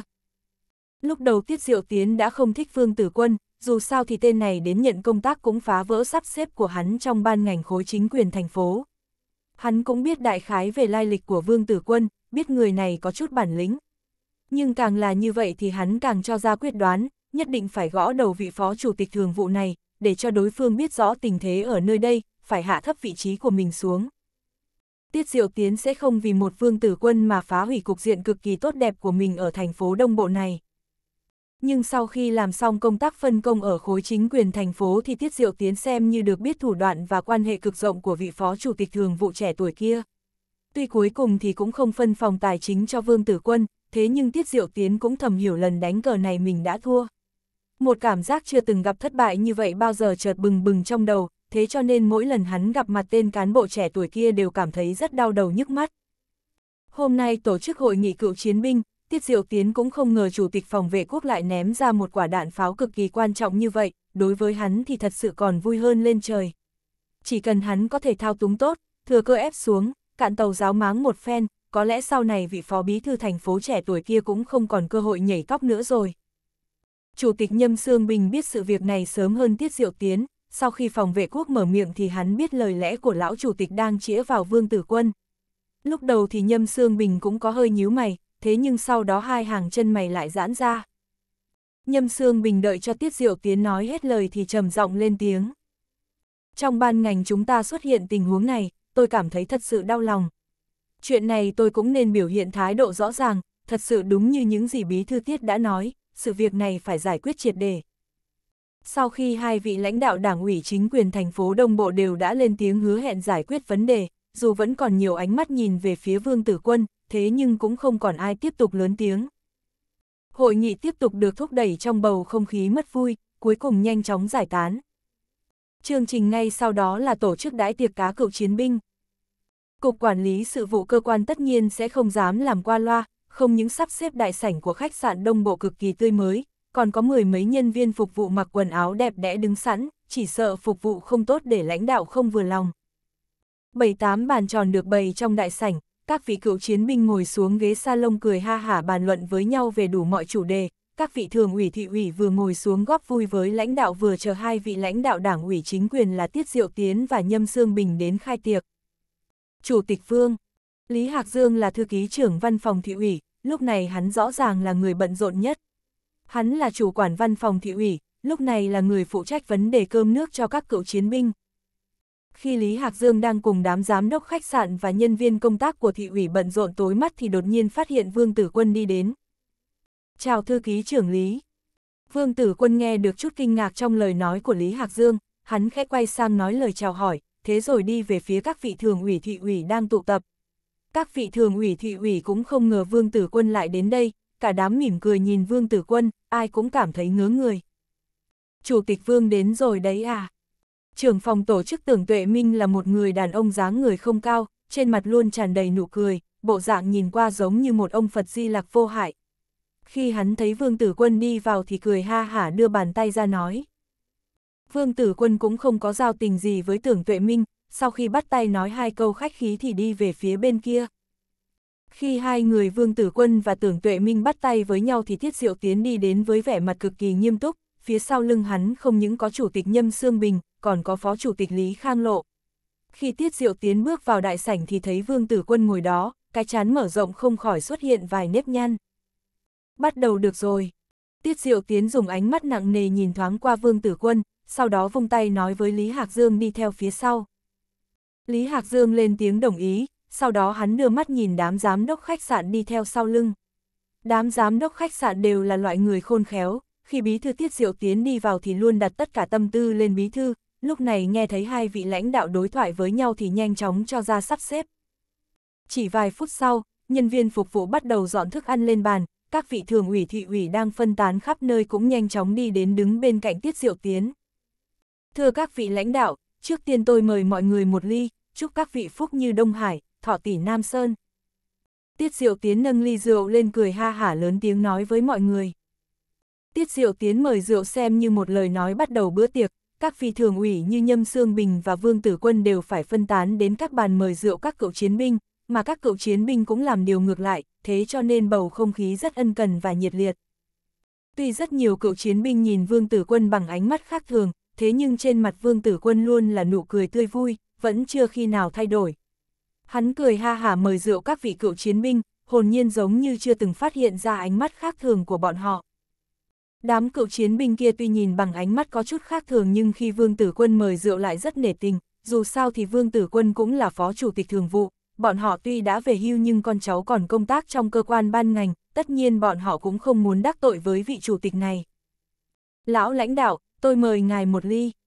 Các vị thường ủy thay phiên nhau mời rượu, Vương Tử Quân vô tình đi đến bàn bên cạnh, hắn nhìn thoáng qua mọi người trên bàn, sau đó đặt một ly rượu đầy trước mặt phòng vệ quốc. Phó Bí Thư Bành Quang Binh là người vừa mới đến mời các cựu chiến binh trên bàn này, hắn vừa bỏ đi được hai bước thì nghe thấy phòng vệ quốc gọi giật lại. Bí Thư Bành, làm phiền anh giới thiệu một chút, vị lãnh đạo này là ai? Phòng vệ quốc tuy nói không quá lớn nhưng lúc này bữa tiệc đang náo nhiệt chợt yên tĩnh trở lại, không ít cựu chiến binh và thường ủy thị ủy đang uống rượu phải nhìn về phía phòng vệ quốc, cũng không quên nhìn qua vương tử quân. Bành quang binh nhìn phòng vệ quốc ngồi đó không nhúc nhích, hắn thật sự có chút cảm giác khổ sở, loại chuyện đắc tội với người như thế này lại ép lên đầu hắn, tất nhiên hắn cực kỳ không muốn nhưng lại khó thể tránh thoát được. Chào lão chủ tịch, tôi là Vương Tử Quân, là phó chủ tịch thường vụ vừa nhận chức ở thành phố Đông Bộ. Khi Bành Quang Binh còn đang suy nghĩ nên giới thiệu như thế nào để không đắc tội với hai bên thì Vương Tử Quân đã nâng ly rượu lên cười ha hả nói với phòng vệ quốc. Chủ tịch Vương, tên tuổi của anh thật sự như sấm nổ bên tai, rượu của ngài thì một ông lão như tôi không dám uống, không vì gì khác, chỉ sợ là khó tiêu nổi. Phòng vệ quốc hừ mũi nhìn Vương Tử Quân rồi dùng giọng lạnh lùng nói. Vương Tử Quân đối mặt với lời châm chọc khiêu khích của phòng vệ quốc thì tất nhiên sẽ rất tức giận, thế nhưng hắn căn bản không phát giận, hắn chỉ cười nhạt một tiếng nói. Nếu lão chủ tịch đã không thích uống, như vậy thì thôi vậy. Vương Tử Quân nói rồi cầm ly rượu định bỏ đi. Chủ tịch Vương, tôi thấy anh còn trẻ, cũng không phải loại côn đồ lưu manh, sao làm việc lại không biết suy xét như vậy. Anh phải biết rằng mình là phó chủ tịch thường vụ của thành phố Đông Bộ, là đại biểu hình tượng của thành phố Đông Bộ, sao có thể làm ra sự kiện trả đũa xấu xa như vậy. Phòng vệ quốc trừng mắt vỗ tay thật mạnh lên bàn rồi nói. Nếu như vừa rồi phòng vệ quốc lên tiếng trong hội nghị chỉ là làm mất mặt vương tử quân, bây giờ rõ ràng là lên tiếng dạy bảo, điều này làm cho bầu không khí trong đại sảnh giống như đông đặc lại. Lý Khang Lộ nhìn tất cả tình huống đang xảy ra, hắn thầm cười lạnh. Hắn công tác ở thành phố Đông Bộ nhiều năm, hắn biết rõ uy lực của các vị cựu chiến binh, đặc biệt là chủ tịch phòng vệ quốc. Đây là người không nên chọc vào, vì ông lão này đã nổi nóng là như sư tử, căn bản không biết anh là ai. Lý Khang Lộ thấy phòng vệ quốc mắng vương tử quân như xối máu chó lên đầu, hắn thầm có chút đắc ý. Vương tử quân ngươi không phải rất giỏi sao, lúc này để xem phải làm sao để xong việc đây. chương 441, tôi là con nhím để anh hết đường cắn. Có câu cây có mọc thành rừng cũng vẫn bị gió thổi bật gốc, lời này đặt trong quan trường thì thật sự không giả, vì tất cả sự việc đều phải chú ý, anh phải tuân thủ quy tắc ngầm, không thể quá giới hạn. Lãnh đạo tán thưởng thì được gọi là sáng tạo đổi mới, lãnh đạo không vừa mắt thì anh công tác chẳng ra gì, dù ngày nào đó anh cho ra một hành vi gì đó, cũng bị bạn đồng hành cho là kẻ ngoại tộc. Anh sẽ bị người ta lén châm chọc, diếu cợt, chỉ trích, thậm chí là ngáng chân, tất cả ùn ùn kéo đến chờ anh rơi vào tình huống người người chê cười. Lúc này nếu anh liếc mắt nhìn khắp chung quanh, anh sẽ phát hiện chính mình giống như đang leo vách núi, cực kỳ mệt mỏi, cực kỳ nguy hiểm. Bị các vị cựu chiến binh lên tiếng dạy bảo, thậm chí là mắng xối xả, rõ ràng không bao lâu nữa vị chủ tịch vương này sẽ trở thành đối tượng bị người ta đàm tiếu. Tin chắc trải qua một lần đã kích như vậy, không đến vài ngày sau sẽ phải cúi đầu mà thôi, sau đó sẽ bị cho ra rìa. Không ngờ vương tử quân lẳng lặng chờ phòng vệ quốc nói xong thì cười nhạt, lúc này mới khẽ xoay người nói. Lão chủ tịch, ngài bình thường nhàn rỗi không có việc gì thì chú ý nghỉ ngơi, cũng không cần ép mình mệt mỏi quá độ, nhọc tâm khổ sở. Nếu cứ như vậy thì sẽ khó tránh khỏi tình huống tinh thần hoảng hốt, dần già sẽ sinh bệnh. Sức khỏe là tiền vốn của cách mạng, người già là bảo vật, vì thế ngài hãy bảo dưỡng sức khỏe của mình cho tốt. Trong giọng nói của Vương Tử Quân tràn đầy quan tâm, nhưng người ở chỗ này có ai không phải là những quan viên có tâm tư tinh xảo đặc sắc. Bọn họ nghe xong những lời quan tâm công khai của Vương Tử Quân mà lắp bắp kinh hãi. Đặc biệt là các vị cựu chiến binh có quan hệ khá tốt với phòng vệ quốc, vẻ mặt người nào cũng biến đổi. Vương Tử Quân dù nói không rõ, nhưng những lời nói gần nói xa lại mơ hồ chửi thẳng mặt phòng vệ quốc, nói rằng phòng vệ quốc đã giả đến mức hồ đồ, thuần túy là có bệnh. Hơn nữa Vương Tử Quân lại nói rất đường hoàng, căn bản không làm cho người ta có cơ hội lên tiếng phản bác. Vẻ mặt tiết diệu tiến chợt biến đổi, hắn không ngờ Vương Tử Quân lại không thuận theo mà lên tiếng trả treo, lại nói ra những lời độc ác như vậy. Trong lòng hắn chợt bùng sóng, hắn biết mình không ra mặt là không được. Nếu như bữa tiệc này phát sinh vấn đề gì không thoải mái, như vậy sẽ ảnh hưởng đến thể diện của ban ngành lãnh đạo thành phố, sự việc lan truyền ra ngoài, chẳng phải nói rõ năng lực khống chế của mình có vấn đề sao. Phòng vệ quốc tức giận đến mức toàn thân phát run, khóe miệng run rẩy, không biết phải cãi lại như thế nào.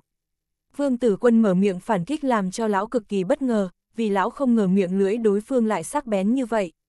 Lão nhìn gương mặt ân cần của vương tử quân, nhìn gương mặt trẻ tuổi của đối phương, lão thậm chí sinh ra ý nghĩ muốn phất áo bỏ đi. Cục trưởng hạ, trong bầu không khí tĩnh lặng, một người đàn ông trung niên mặc đồng phục cảnh sát nhanh chóng bước vào. Hắn cũng không quá quan tâm hiện trường có những ai, chỉ nhanh chóng lên tiếng với Hạ Nham Châu. Hạ Nham Châu đang xem náo nhiệt, hắn thật sự bị vị phó chủ tịch trẻ tuổi kia làm cho ngây cả người. Đồng thời hắn cũng ý thức được vị phó chủ tịch này sợ rằng sẽ mạnh mẽ và khó chịu hơn Lưu Nham Phú kia biết bao nhiêu lần. Lưu Nham Phú thì có thể ức hiếp được, nhưng có lẽ vị phó chủ tịch trẻ tuổi tên là Vương Tử Quân này lại hoàn toàn khác biệt. Đối phương giống như một con nhím, chỉ cần đụng vào một cái thì lông sẽ dựng đứng lên, thế cho nên dù thế nào cũng khó thể nào há miệng nuốt vào. Có việc gì? Hạ Nham Châu đang trầm tư bi người ta làm cho thức tỉnh, trong lòng có chút không thoải mái. Nếu không phải tình huống bây giờ có chút đặc thù, hơn nữa người đến lại là tâm phúc của hắn, chỉ sợ hắn đã lớn tiếng mắng cho một trận rồi. Cục trưởng Hạ, người của Cục Công an tỉnh đến, nói là có chuyện muốn tìm ngài. Người đàn ông trung niên mặc đồng phục cảnh sát lên tiếng, vẻ mặt rất nôn nóng. Người của Cục Công an tỉnh đến đây. Hạ Nham Châu là người có kinh nghiệm, chỉ cần nhìn mặt người đàn ông trung niên thuộc hạ là biết có gì đó không thể nói ở đây, nhưng người của Cục Công an tỉnh cũng không phải trăm năm mới xuống một lần, có gì đáng ngạc nhiên. Có lẽ bên trong còn có sự việc gì đó. Đúng vậy, Cục trưởng, nghe bọn họ nói. Ánh mắt tên cảnh sát trung niên khẽ híp lại, giọng điệu cũng hạ thấp, bộ dạng cực kỳ cẩn thận. Anh nói gì, Lý Dược Hồ có liên quan đến vụ giết người vứt xác ở thành phố Tam Hồ. Hạ Nham Châu chợt tiến về phía trước một bước, đồng thời cũng hít vào một luồng hơi lạnh. Tên cảnh sát đang khẽ báo cáo thấy hành vi của lãnh đạo thì lại càng hoảng sợ, hắn không dám khúm núm, chỉ tranh thủ thời gian nói. Đúng vậy, Cục trưởng Hạ, Cục Công an tỉnh đã có căn cứ rất chính xác, chứng cứ rõ ràng. Thủ phạm của vụ án là Lý Dược Hổ, mặt khác còn có hai tòng phạm, lần này người của Cục Công an tỉnh đến bắt tòng phạm, chính là Phòng Hợp Nghi và Tôn Kính Dân. Phòng Hợp Nghi và Tôn Kính Dân, hai cái tên này có lẽ rất xa lạ với nhiều người, thế nhưng cái tên Lý Dược Hổ thì ai cũng biết. Nhưng trong đám người nơi đây lại biết khá rõ những cái tên kia, mà người quen thuộc nhất với cái tên Phòng Hợp Nghi chính là Phòng Vệ Quốc đang lớn tiếng phê bình Vương Tử Quân. Anh nói gì, đến bắt Phòng Hợp Nghi, hắn phạm tội gì, hắn rốt cuộc phạm tội gì? Phòng vệ quốc không biết lấy đâu ra sức lực mà giữ lấy tên cảnh sát đứng trước mặt, sau đó dùng giọng hồn hển nói. Tên cảnh sát cũng biết lão chủ tịch của thành phố Đông Bộ, bây giờ thấy lão chủ tịch tỏ ra sốt ruột như vậy thì không khỏi trầm giọng nói. Phòng hợp nghi có liên quan đến vụ án, sau khi Lý Dược Hổ bị bắt đã khai báo phòng hợp nghi. Bàn tay phòng vệ quốc chợt run rẩy dữ dội, lão cảm thấy trời đất trao đảo. Đây chính là đứa cháu nội của lão, vì sao lại có liên quan đến vụ án giết người. Căn bản là lão vừa căn cứ vào sự kiện này mà lên tiếng chỉ cây dâu mắng cây hòe một phen. Tại sao lại là như vậy? Phòng vệ quốc siết chặt bàn tay, cảm thấy trước mắt chợt tối sầm, sau đó ngã xuống hôn mê bất tỉnh. Bữa tiệc vốn rất náo nhiệt đã chấm dứt trong qua loa, lão chủ tịch được kịp thời đưa lên xe cứu thương, cũng có không ít cựu chiến binh và nhân viên công tác nghị luận về sự kiện này. Hèn gì lão chủ tịch lại chủ động như vậy, thì ra là cháu nội nhà mình cũng là một kẻ phạm pháp.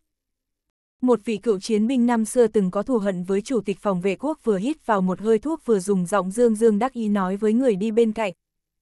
Người đi bên cạnh tuy cảm thấy phòng vệ quốc có chút đáng thương nhưng tường đổ là do mọi người cùng đẩy, lúc này lão cũng không muốn mở miệng biện hộ cho lão chủ tịch, chỉ có thể gật đầu mà thôi. Nhưng ánh mắt của lão vẫn không quên nhìn về phía vương tử quân ở bên kia. Vương tử quân đang bình tĩnh đứng bên cạnh tiết diệu tiến. Hắn nhìn bí thư tiết chỉ huy các nhân viên công tác, hắn thật sự khá bất ngờ vì sự kiện vừa xảy ra. Tuy hắn đã sớm biết trên người Lý Dược Hổ có một vụ án quan trọng, nhưng hắn không ngờ vụ án mạng của Lý Dược Hổ lại có liên quan đến cháu nội của lão chủ tịch phòng vệ quốc. Thư ký trưởng Lý, sắp xếp xe cho các vị lãnh đạo về nhà nghỉ ngơi, đi đường phải cẩn thận, không được xảy ra vấn đề, nếu không anh chờ tôi hỏi tội. Vẻ mặt tiết diệu tiến tái nhợt, hắn hạ lệnh với thư ký trưởng Lý Hạc Dương, ánh mắt cũng rơi lên người vương tử quân đang đứng trong đám thường ủy thị ủy. Vương Tử Quân cũng cảm nhận được ánh mắt không chút e ngại của Tiết Diệu Tiến, nhưng hắn đối mặt với bí thư Tiết mà vẻ mặt cũng không chút biến đổi. Lúc này Tiết Diệu Tiến cảm thấy đầu mình vừa đau vừa to ra như quả dưa hấu, hắn thật sự không ngờ vị phó chủ tịch thường vụ vừa đến nhận chức ở thành phố Đông Bộ lại khó chơi. Đối phương giống như một hòn đá vừa thối vừa cứng, căn bản rơi từ trên xuống làm cho người ta vỡ đầu, lại không thể trừng phạt được. Tiết Diệu Tiến vốn cho rằng có thể lợi dụng cơ hội lão chủ tịch nổi giận trách phạt để dạy cho Vương Tử Quân một bài học, lại không ngờ cháu nội của lão chủ tịch cũng có liên quan, thế là ngay cả danh dự của lão chủ tịch phòng vệ quốc cũng bị ảnh hưởng. Chỉ sợ sau này lão chủ tịch cũng không còn cơ hội mỗi năm đến tham gia hội nghị cựu chiến binh thế này nữa.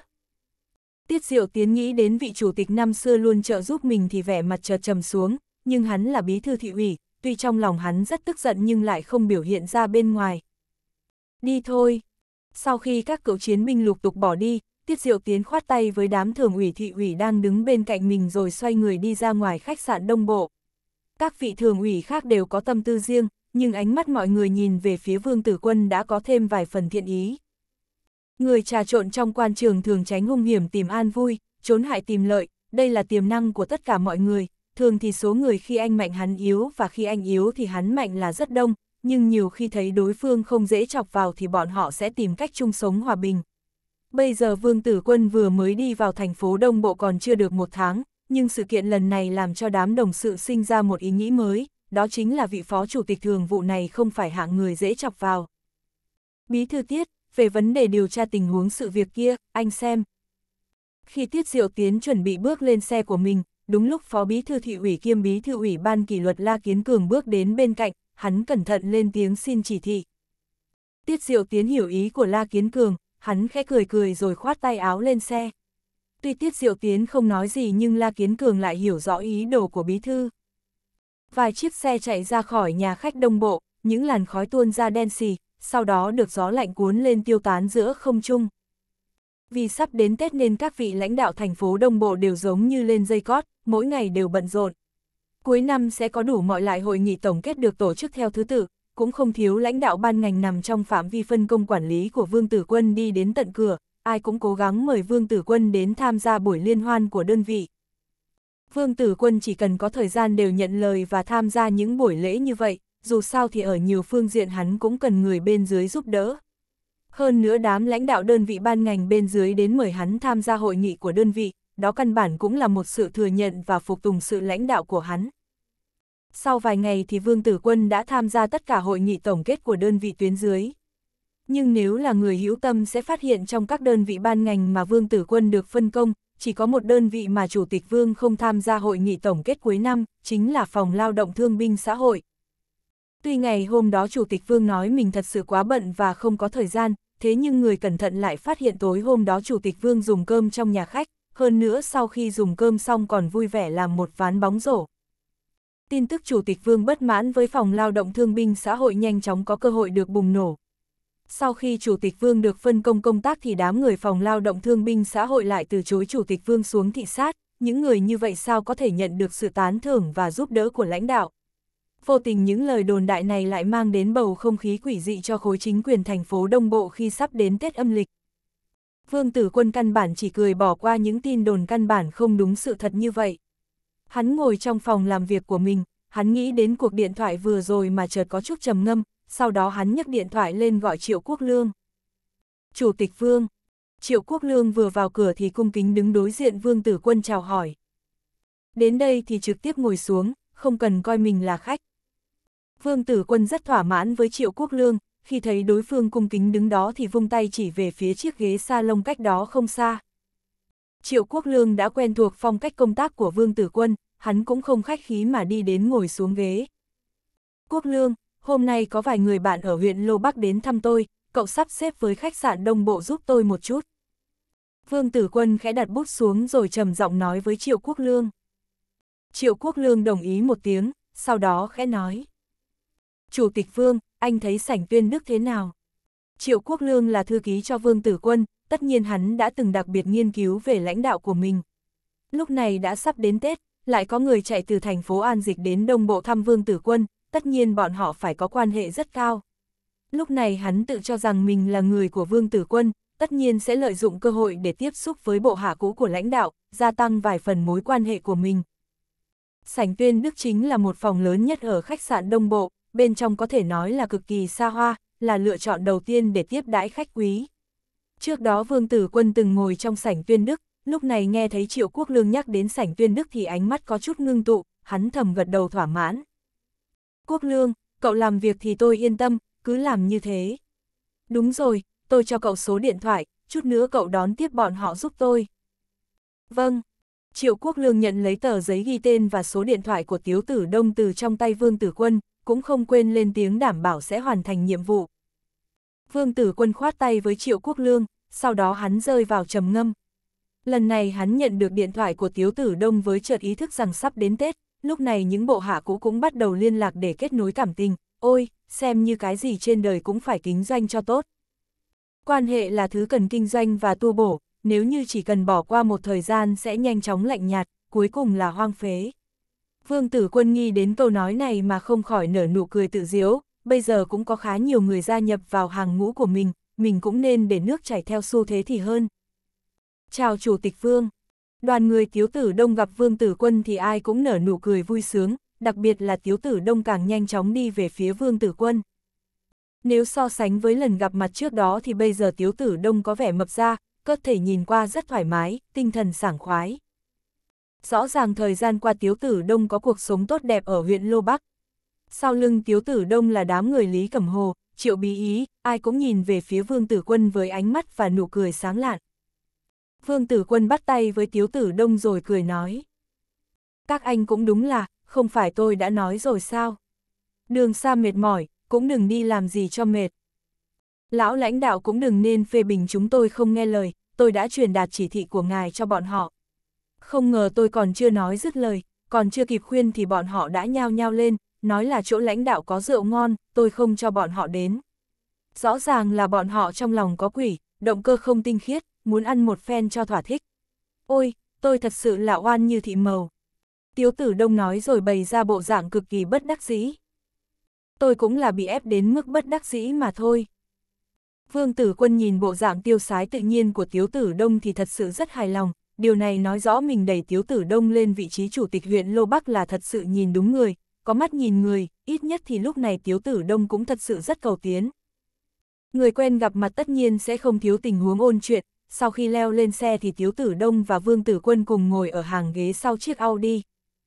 Lão lãnh đạo, nghe nói ngài xuống tuyến dưới rèn luyện, đám người chúng tôi thật sự rất chờ mong. Vốn nghĩ rằng dù thế nào thì người cũng sẽ quay về thành phố An Dịch, không ngờ lại đến thành phố Đông Bộ, tôi thật sự cảm thấy rất thất vọng, ôi, không nói nữa. Tiếu tử đông lần này lên tiếng như vậy cũng không phải là giả vờ. Khi nghe nói vương tử quân xuống tuyến dưới rèn luyện, hắn thật sự chỉ mong sao lãnh đạo sẽ quay về thành phố An Dịch. Dù Tiếu Tử Đông cũng có quan hệ và cũng xem như cùng hàng ngũ với Bí Thư Trịnh Đông Phương, thế nhưng nếu so ra thì quan hệ với Bí Thư Trịnh Đông Phương còn kém hơn với Vương Tử Quân một bậc.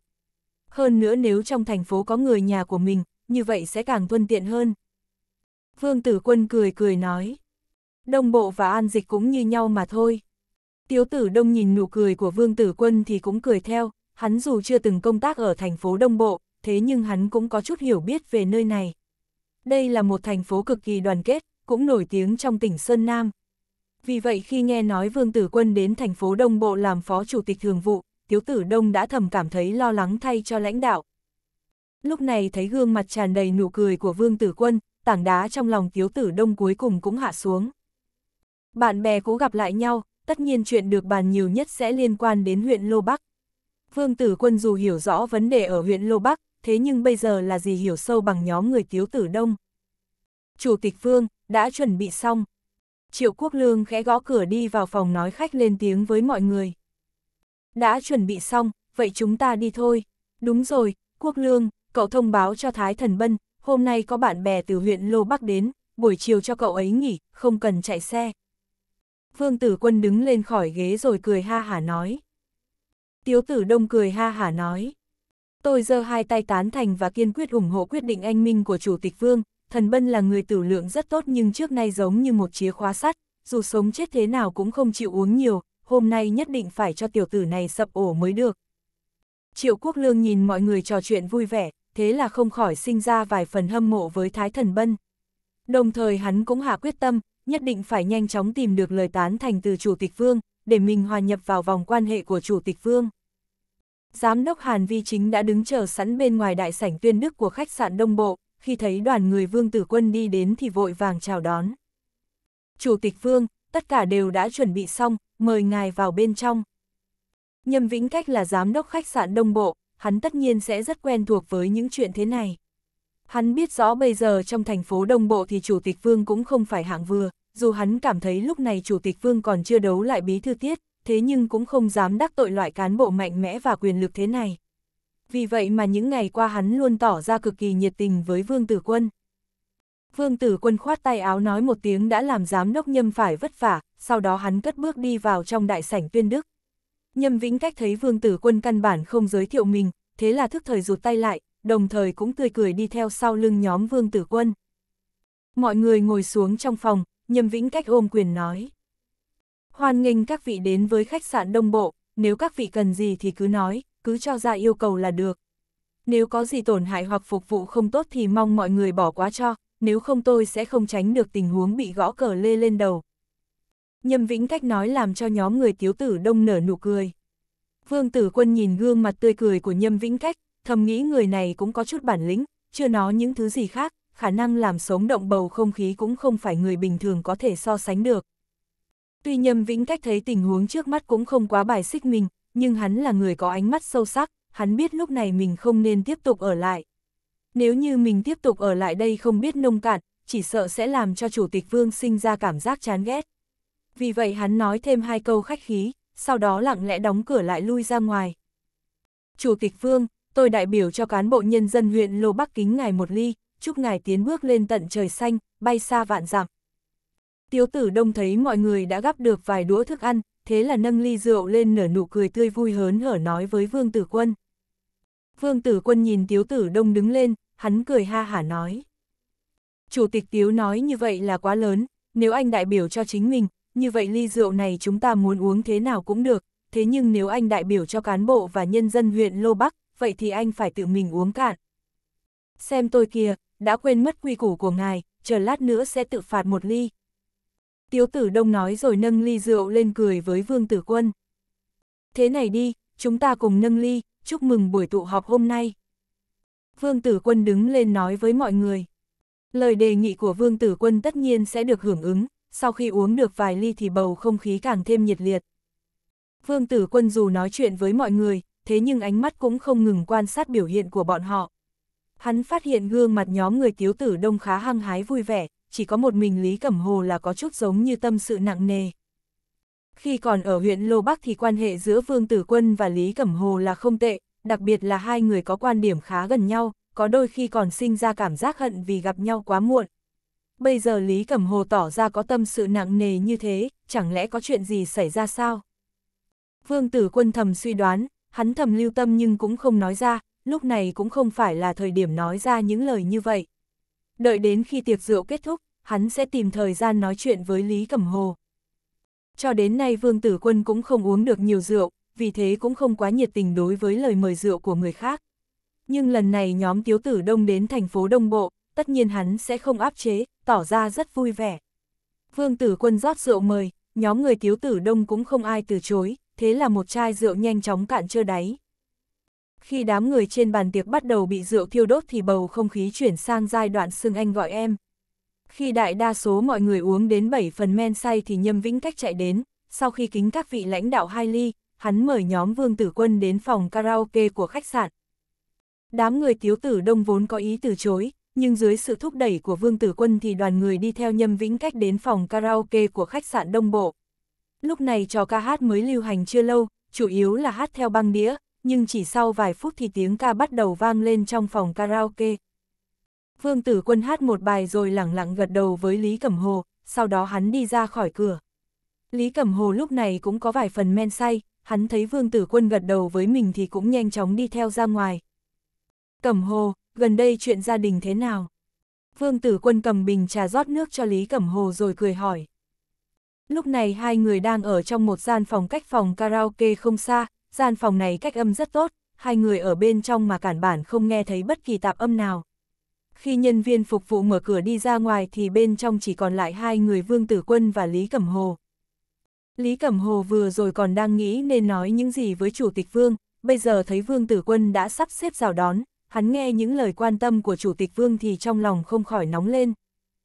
Cảm ơn Chủ tịch Vương đã quan tâm, già trẻ trong nhà vẫn khỏe. Lý Cẩm Hồ dùng hai tay tiếp nhận ly trà từ tay Vương Tử Quân. Vậy là tốt rồi.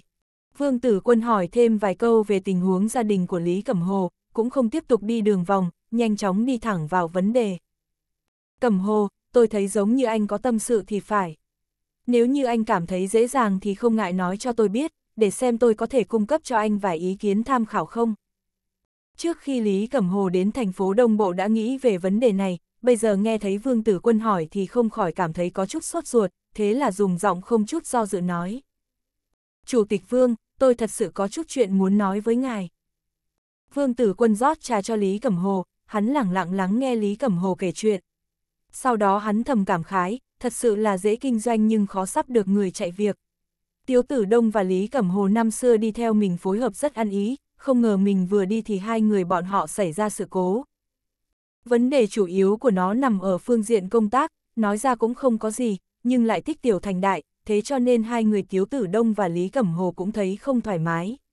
Tiếu Tử Đông là một chủ tịch huyện, là người công tác lâu năm ở huyện Lô Bắc, Lý Cẩm Hồ là người từ bên ngoài đến nhận chức, tất nhiên sẽ có tranh lệch, luôn cảm thấy mình bị xa lánh cô lập.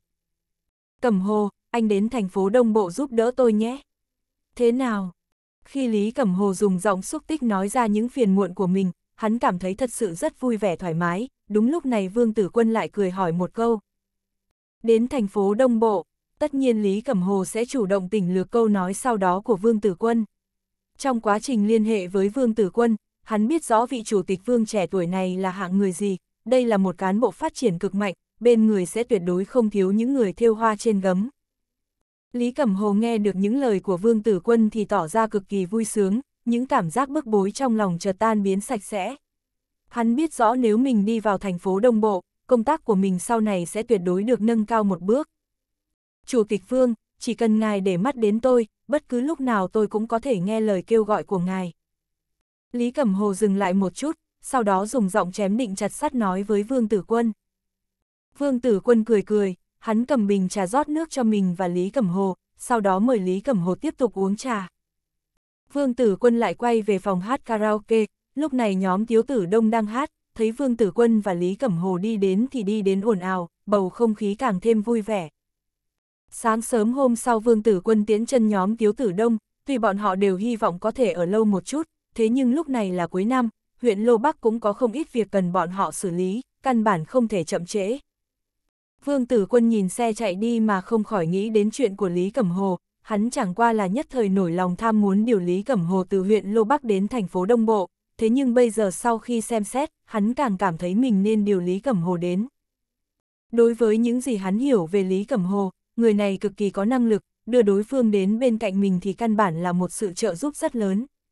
Vương Tử Quân cũng có tính toán với chuyện sắp xếp Lý Cẩm Hồ, sẽ cho Lý Cẩm Hồ làm phó thư ký trưởng văn phòng khối chính quyền thành phố, sẽ là người phụ trách công tác của mình. Nhưng Vương Tử Quân đặt sự kiện điều động này sang năm sau, bây giờ toàn tỉnh đang ở vào giai đoạn tổng kết đón mừng năm mới, vấn đề nhân sự thật sự phải để đến sang năm. Nhưng trước đó cũng cần phải làm công tác dự bị, hắn cũng cần làm vài bước chăn đệm. Chủ tịch Vương, ngày hôm qua văn phòng đã cho ra thông báo, hôm nay sẽ tổ chức hội nghị văn phòng chủ tịch. Triệu Quốc Lương khẽ đi đến bên cạnh Vương Tử Quân rồi lên tiếng báo cáo.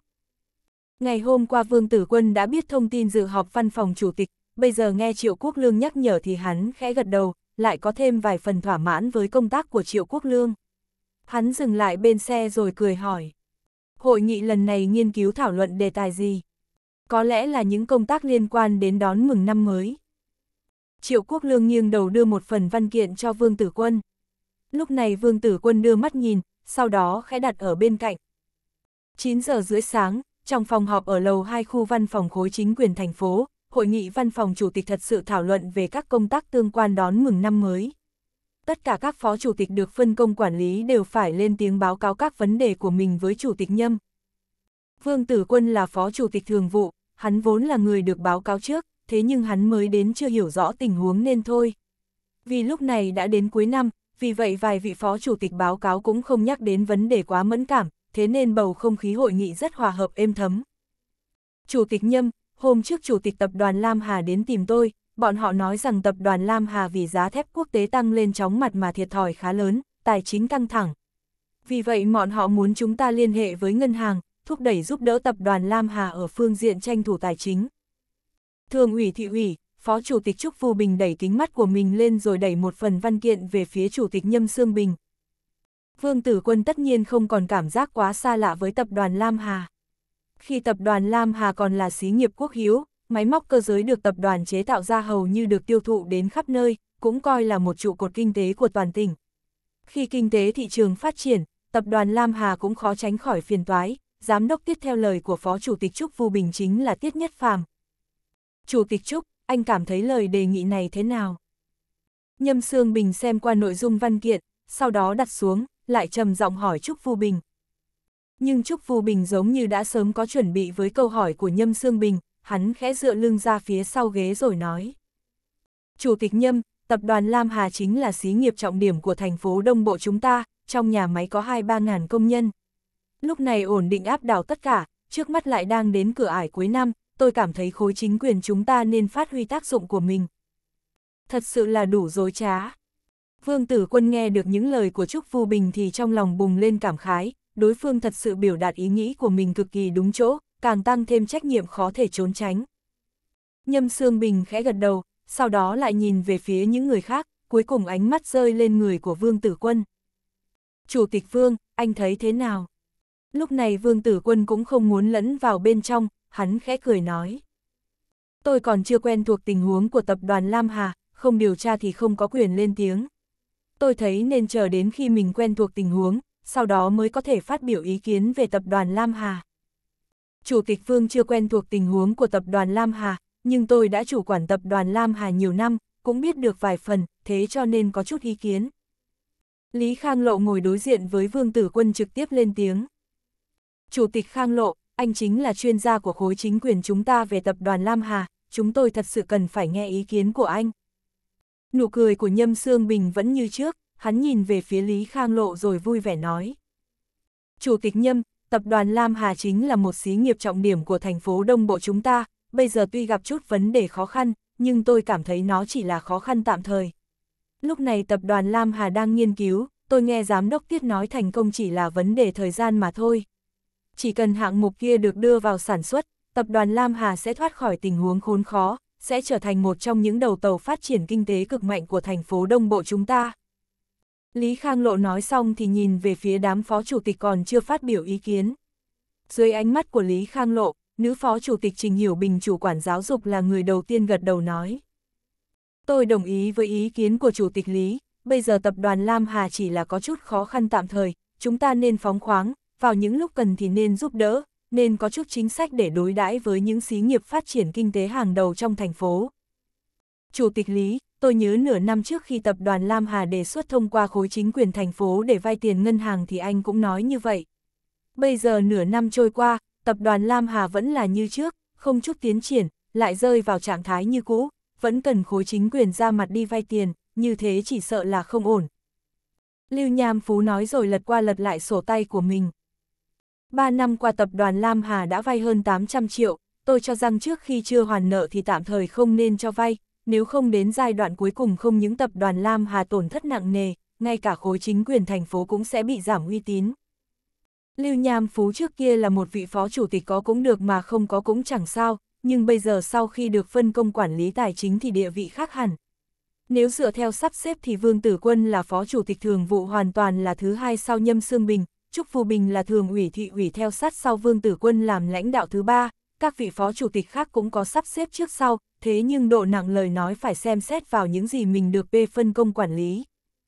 Vốn Lý Khang Lộ là người có quyền hạn lớn nhất trong nhóm các vị phó chủ tịch không tiến vào thường ủy thị ủy, thế nhưng bây giờ Lưu Nham Phú chủ quản tài chính, là quyền hạn vốn chỉ nằm trong tay của phó chủ tịch thường vụ, thế cho nên địa vị cũng xem như nước lên thuyền lên, độ nặng lời nói cũng không phải là trước kia có thể so sánh được. Vẻ mặt Lý Khang Lộ trở nên lạnh lẽo, hắn nhìn thoáng qua Lưu Nham Phú, trên mặt cố gắng nặn ra nụ cười. Chủ tịch Lưu nói đúng tình hình thực tế, nhưng trên phương diện phát triển kinh tế thì chúng ta cũng không vì chuyện nhỏ mà bỏ chuyện lớn, không thể bảo thủ được.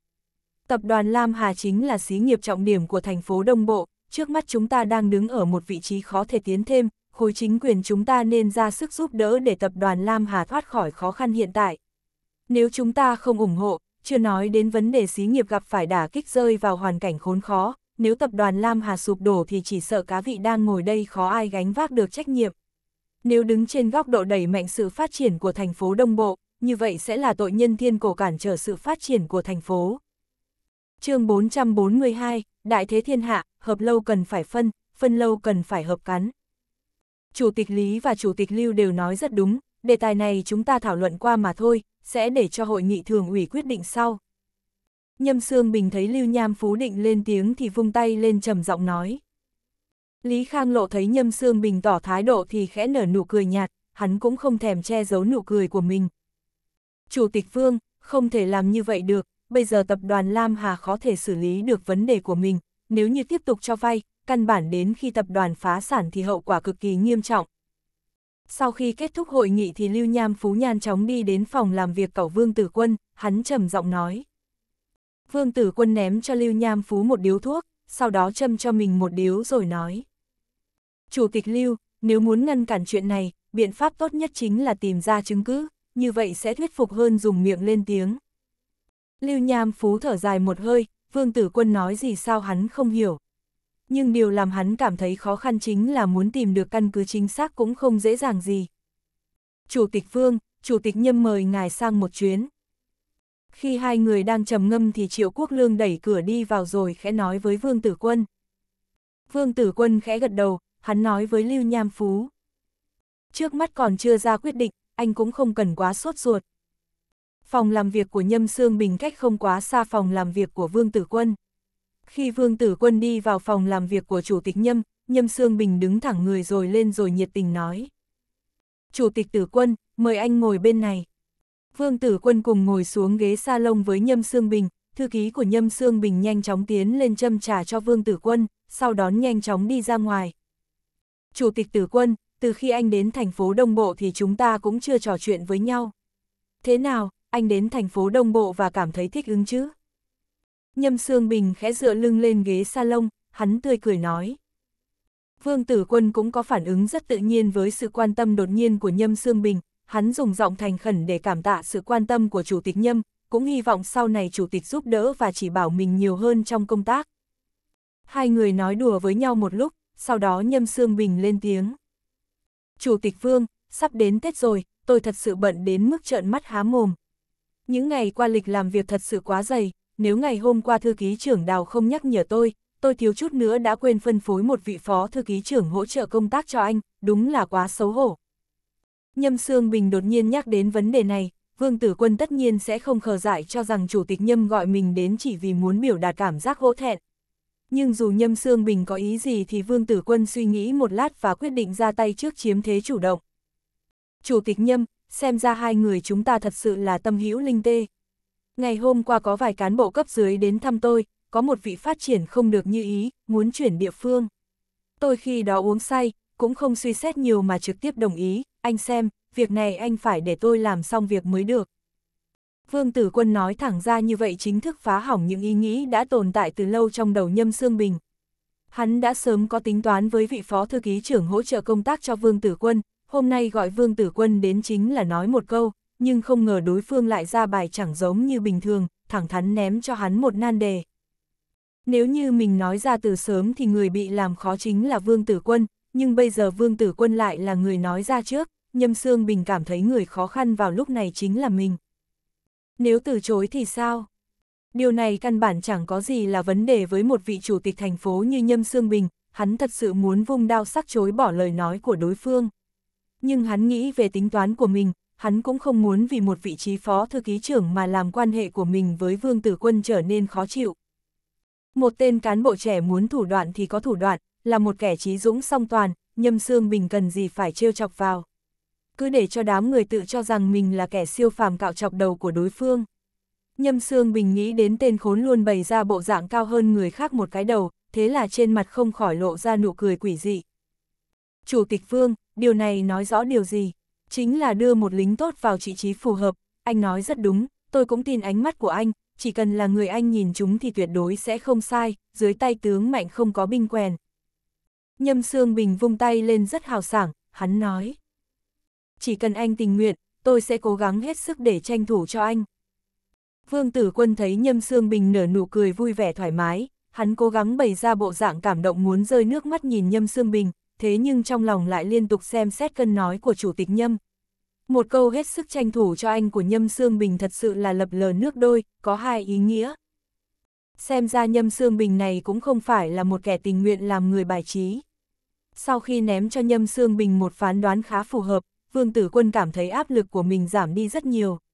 Hắn cảm tạ ý tốt của Chủ tịch Nhâm, sau đó tiếp tục trao đổi với Chủ tịch Nhâm về vài phương diện khác. Hai người nói chuyện hơn nửa giờ, bầu không khí cực kỳ phù hợp. Khi hai người còn đang hào hứng lên tiếng, đúng lúc bên ngoài vang lên nhiều tiếng ồn ào. Phòng làm việc của Nhâm Sương Bình có hiệu quả cách âm rất tốt, dù không nghe được nội dụng tiếng ồn ào bên ngoài, thế nhưng những âm thanh đó cũng không khỏi làm cho hai vị lãnh đạo đứng đầu và thứ hai của khối chính quyền thành phố cảm thấy đứng ngồi không yên. Cốc cốc cốc, tiếng gõ cửa vang lên rồn rập, thư ký trưởng đào chính đào và thư ký của Nhâm Sương Bình nhanh chóng đi vào. Đào chính đào không chờ Nhâm Sương Bình lên tiếng hỏi, hắn trực tiếp báo cáo. Chủ tịch Nhâm, Chủ tịch Phương, Tiết Nhất Phàm đang ồn ào với Chủ tịch Lưu. Chuyện gì xảy ra? Hai mắt Nhâm Sương Bình chợt lóe lên, hắn đứng lên khỏi ghế salon. Là chuyện xảy ra ở hội nghị văn phòng chủ tịch, Tiết Nhất Phàm không hiểu vì sao mà biết tin, cô ta chạy đến tìm chủ tịch Lưu, thế là hai bên bất đồng ngôn ngữ, sinh ra cãi vả. Đào chính đào có chút do dự, hắn trầm giọng nói. Nhâm Sương Bình chỉ ừ một tiếng mà không nói gì, sau đó xoay người đi về phía cửa ra vào. Nhưng hắn còn chưa đi đến cửa thì chợt nghiêng đầu hỏi Vương Tử Quân. Chủ tịch Tử Quân, anh gọi hai người bọn họ đến, tôi muốn nói chuyện với cả hai. Nhâm Sương Bình nói một lời cực kỳ bình tĩnh nhưng Vương Tử Quân lại hiểu ý nghĩa ẩn giấu bên trong. Nhưng Nhâm Sương Bình là chủ tịch khối chính quyền, chỉ cần sắp xếp không trái với nguyên tắc thì Vương Tử Quân cũng không thể không nghe theo. Hắn thầm nghĩ như vậy rồi mỉm cười đồng ý. Vâng, tôi sẽ đi gọi hai người bọn họ. Chủ tịch Vương, Tiết Nhất Phàm là người rất nóng tính, khi anh tách hai người bọn họ ra thì chú ý phương pháp một chút. Đào chính đào cùng đi bên cạnh Vương Tử Quân, sau khi rời khỏi phòng làm việc của Nhâm Sương Bình được vài chục bước thì khẽ nhắc nhở Vương Tử Quân. Vương Tử Quân khẽ gật đầu, dù đào chính đào xuất phát từ mục đích gì thì Vương Tử Quân vẫn nở nụ cười với lời nhắc nhở của đối phương. Lúc này tiếng cãi vả càng gay gắt, trên hành lang khu văn phòng khối chính quyền thành phố có không ít cán bộ nhan viên đứng ra nhìn. Chào Chủ tịch Vương, Thư ký trưởng, khi thấy hai người vương tử quân đi đến thì đại đa số nhân viên cán bộ đều tỏ ra kinh sợ, bọn họ lên tiếng chào hỏi rồi tranh thủ thời gian đi về phòng làm việc của mình. Phòng làm việc của Lưu Nham Phú cũng không cùng tầng với Nhâm Sương Bình. Lúc này ngoài phòng làm việc của Lưu Nham Phú đã đứng đầy người, mà âm thanh cải vả của nam nữ liên tục từ trong phòng truyền ra. Đồng chí Thiết Nhất Phàm, ý kiến của tôi xuất phát từ góc độ của khối chính quyền thành phố, đó là vì lợi ích đại cục. Chị hiểu cũng được, không hiểu cũng chẳng sao, tôi không cần giải thích với chị, tôi còn công tác của mình, xin lỗi, mời chị đi ra ngoài. Lưu Nham Phú lên tiếng bằng giọng điệu có bảy phần tức giận. Chủ tịch Lưu, anh luôn miệng nói mình xuất phát từ đại cục, là giữ gìn lợi ích của khối chính quyền thành phố. Tôi hiểu tâm tình của anh, thế nhưng phương pháp của anh là không đúng. Tôi là tổng giám đốc của tập đoàn Lam Hà, tôi phải nói cho anh nghe rõ ràng, tập đoàn Lam Hà chúng tôi có 2-3 ngàn công nhân viên chức, bọn họ cần có công tác, bọn họ cũng cần ăn cơm, nếu tập đoàn Lam Hà sụp đổ, như vậy làm sao bây giờ? Anh có gánh vác được trách nhiệm này không?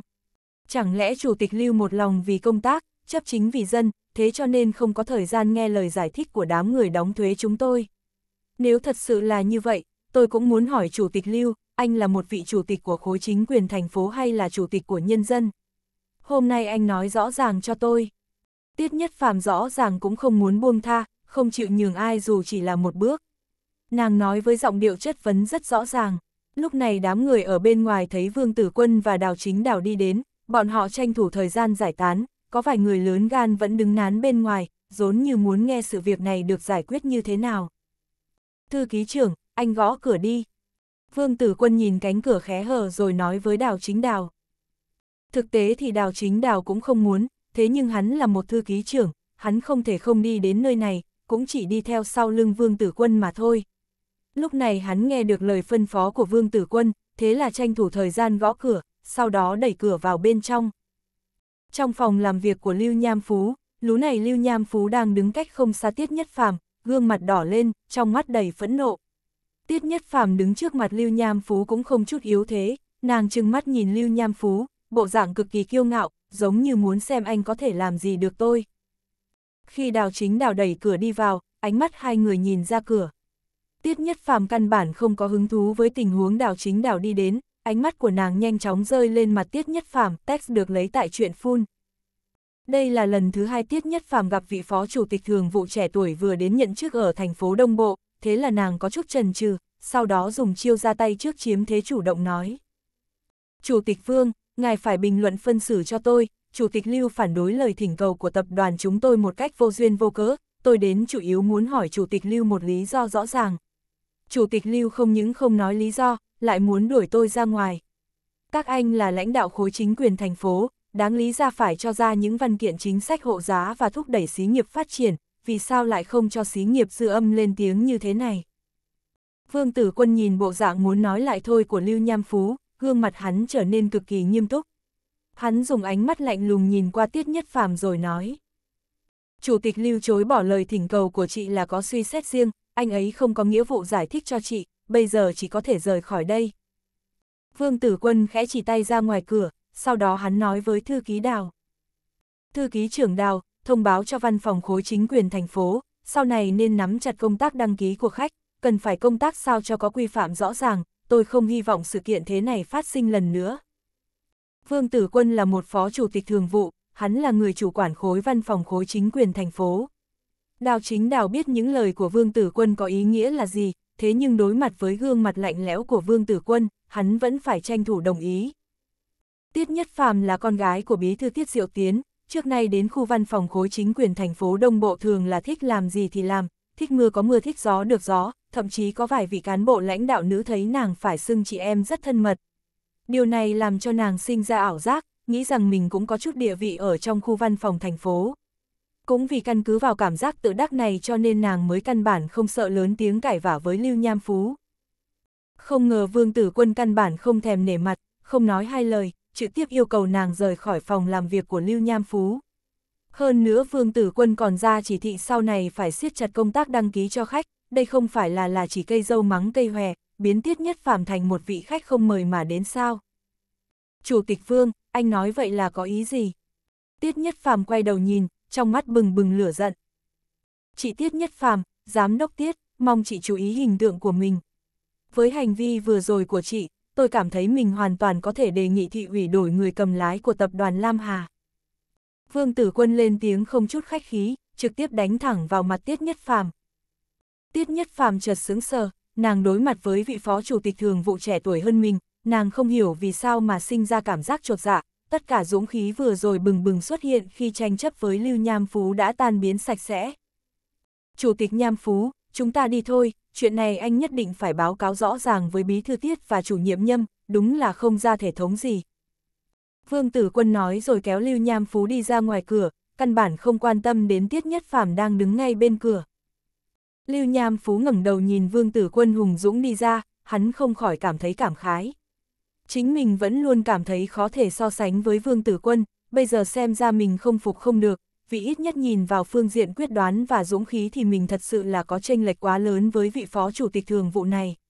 Tiết nhất phàm dám lớn tiếng trước mặt mình, mình nhân nhượng chẳng phải nói mình đang e ngại và dung túng cô ta sao. Nhưng trước mặt một phương tử quân cực kỳ cường thế thì cô nàng căn bản không còn chút tâm lý gây hấn. Đám người đến xem náo nhiệt cũng đã tản đi, hành lang sạch sẽ giống như chưa từng có điều gì phát sinh. Nhưng khi đi trên hành lang, dù thế nào cũng làm cho người ta sinh ra cảm giác giống như hai bên có vô số ánh mắt đang nhìn chằm chằm vào mình. Chủ tịch Vương, chúng ta bây giờ. Đào chính đào cất bước về phía Vương Tử Quân, sau đó khẽ hỏi. Đi đến phòng làm việc của Chủ tịch Nhâm.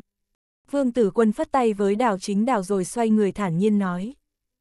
Trước kiên văn phòng khối chính quyền cho ra một ý kiến xử lý chuyện này, lát nữa tôi sẽ báo cáo với Chủ tịch Nhâm. Ý kiến xử lý.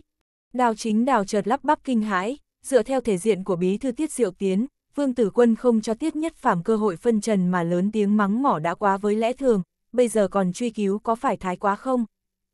Chủ tịch Vương, Chủ tịch Lưu, tôi cảm thấy chuyện này chỉ là...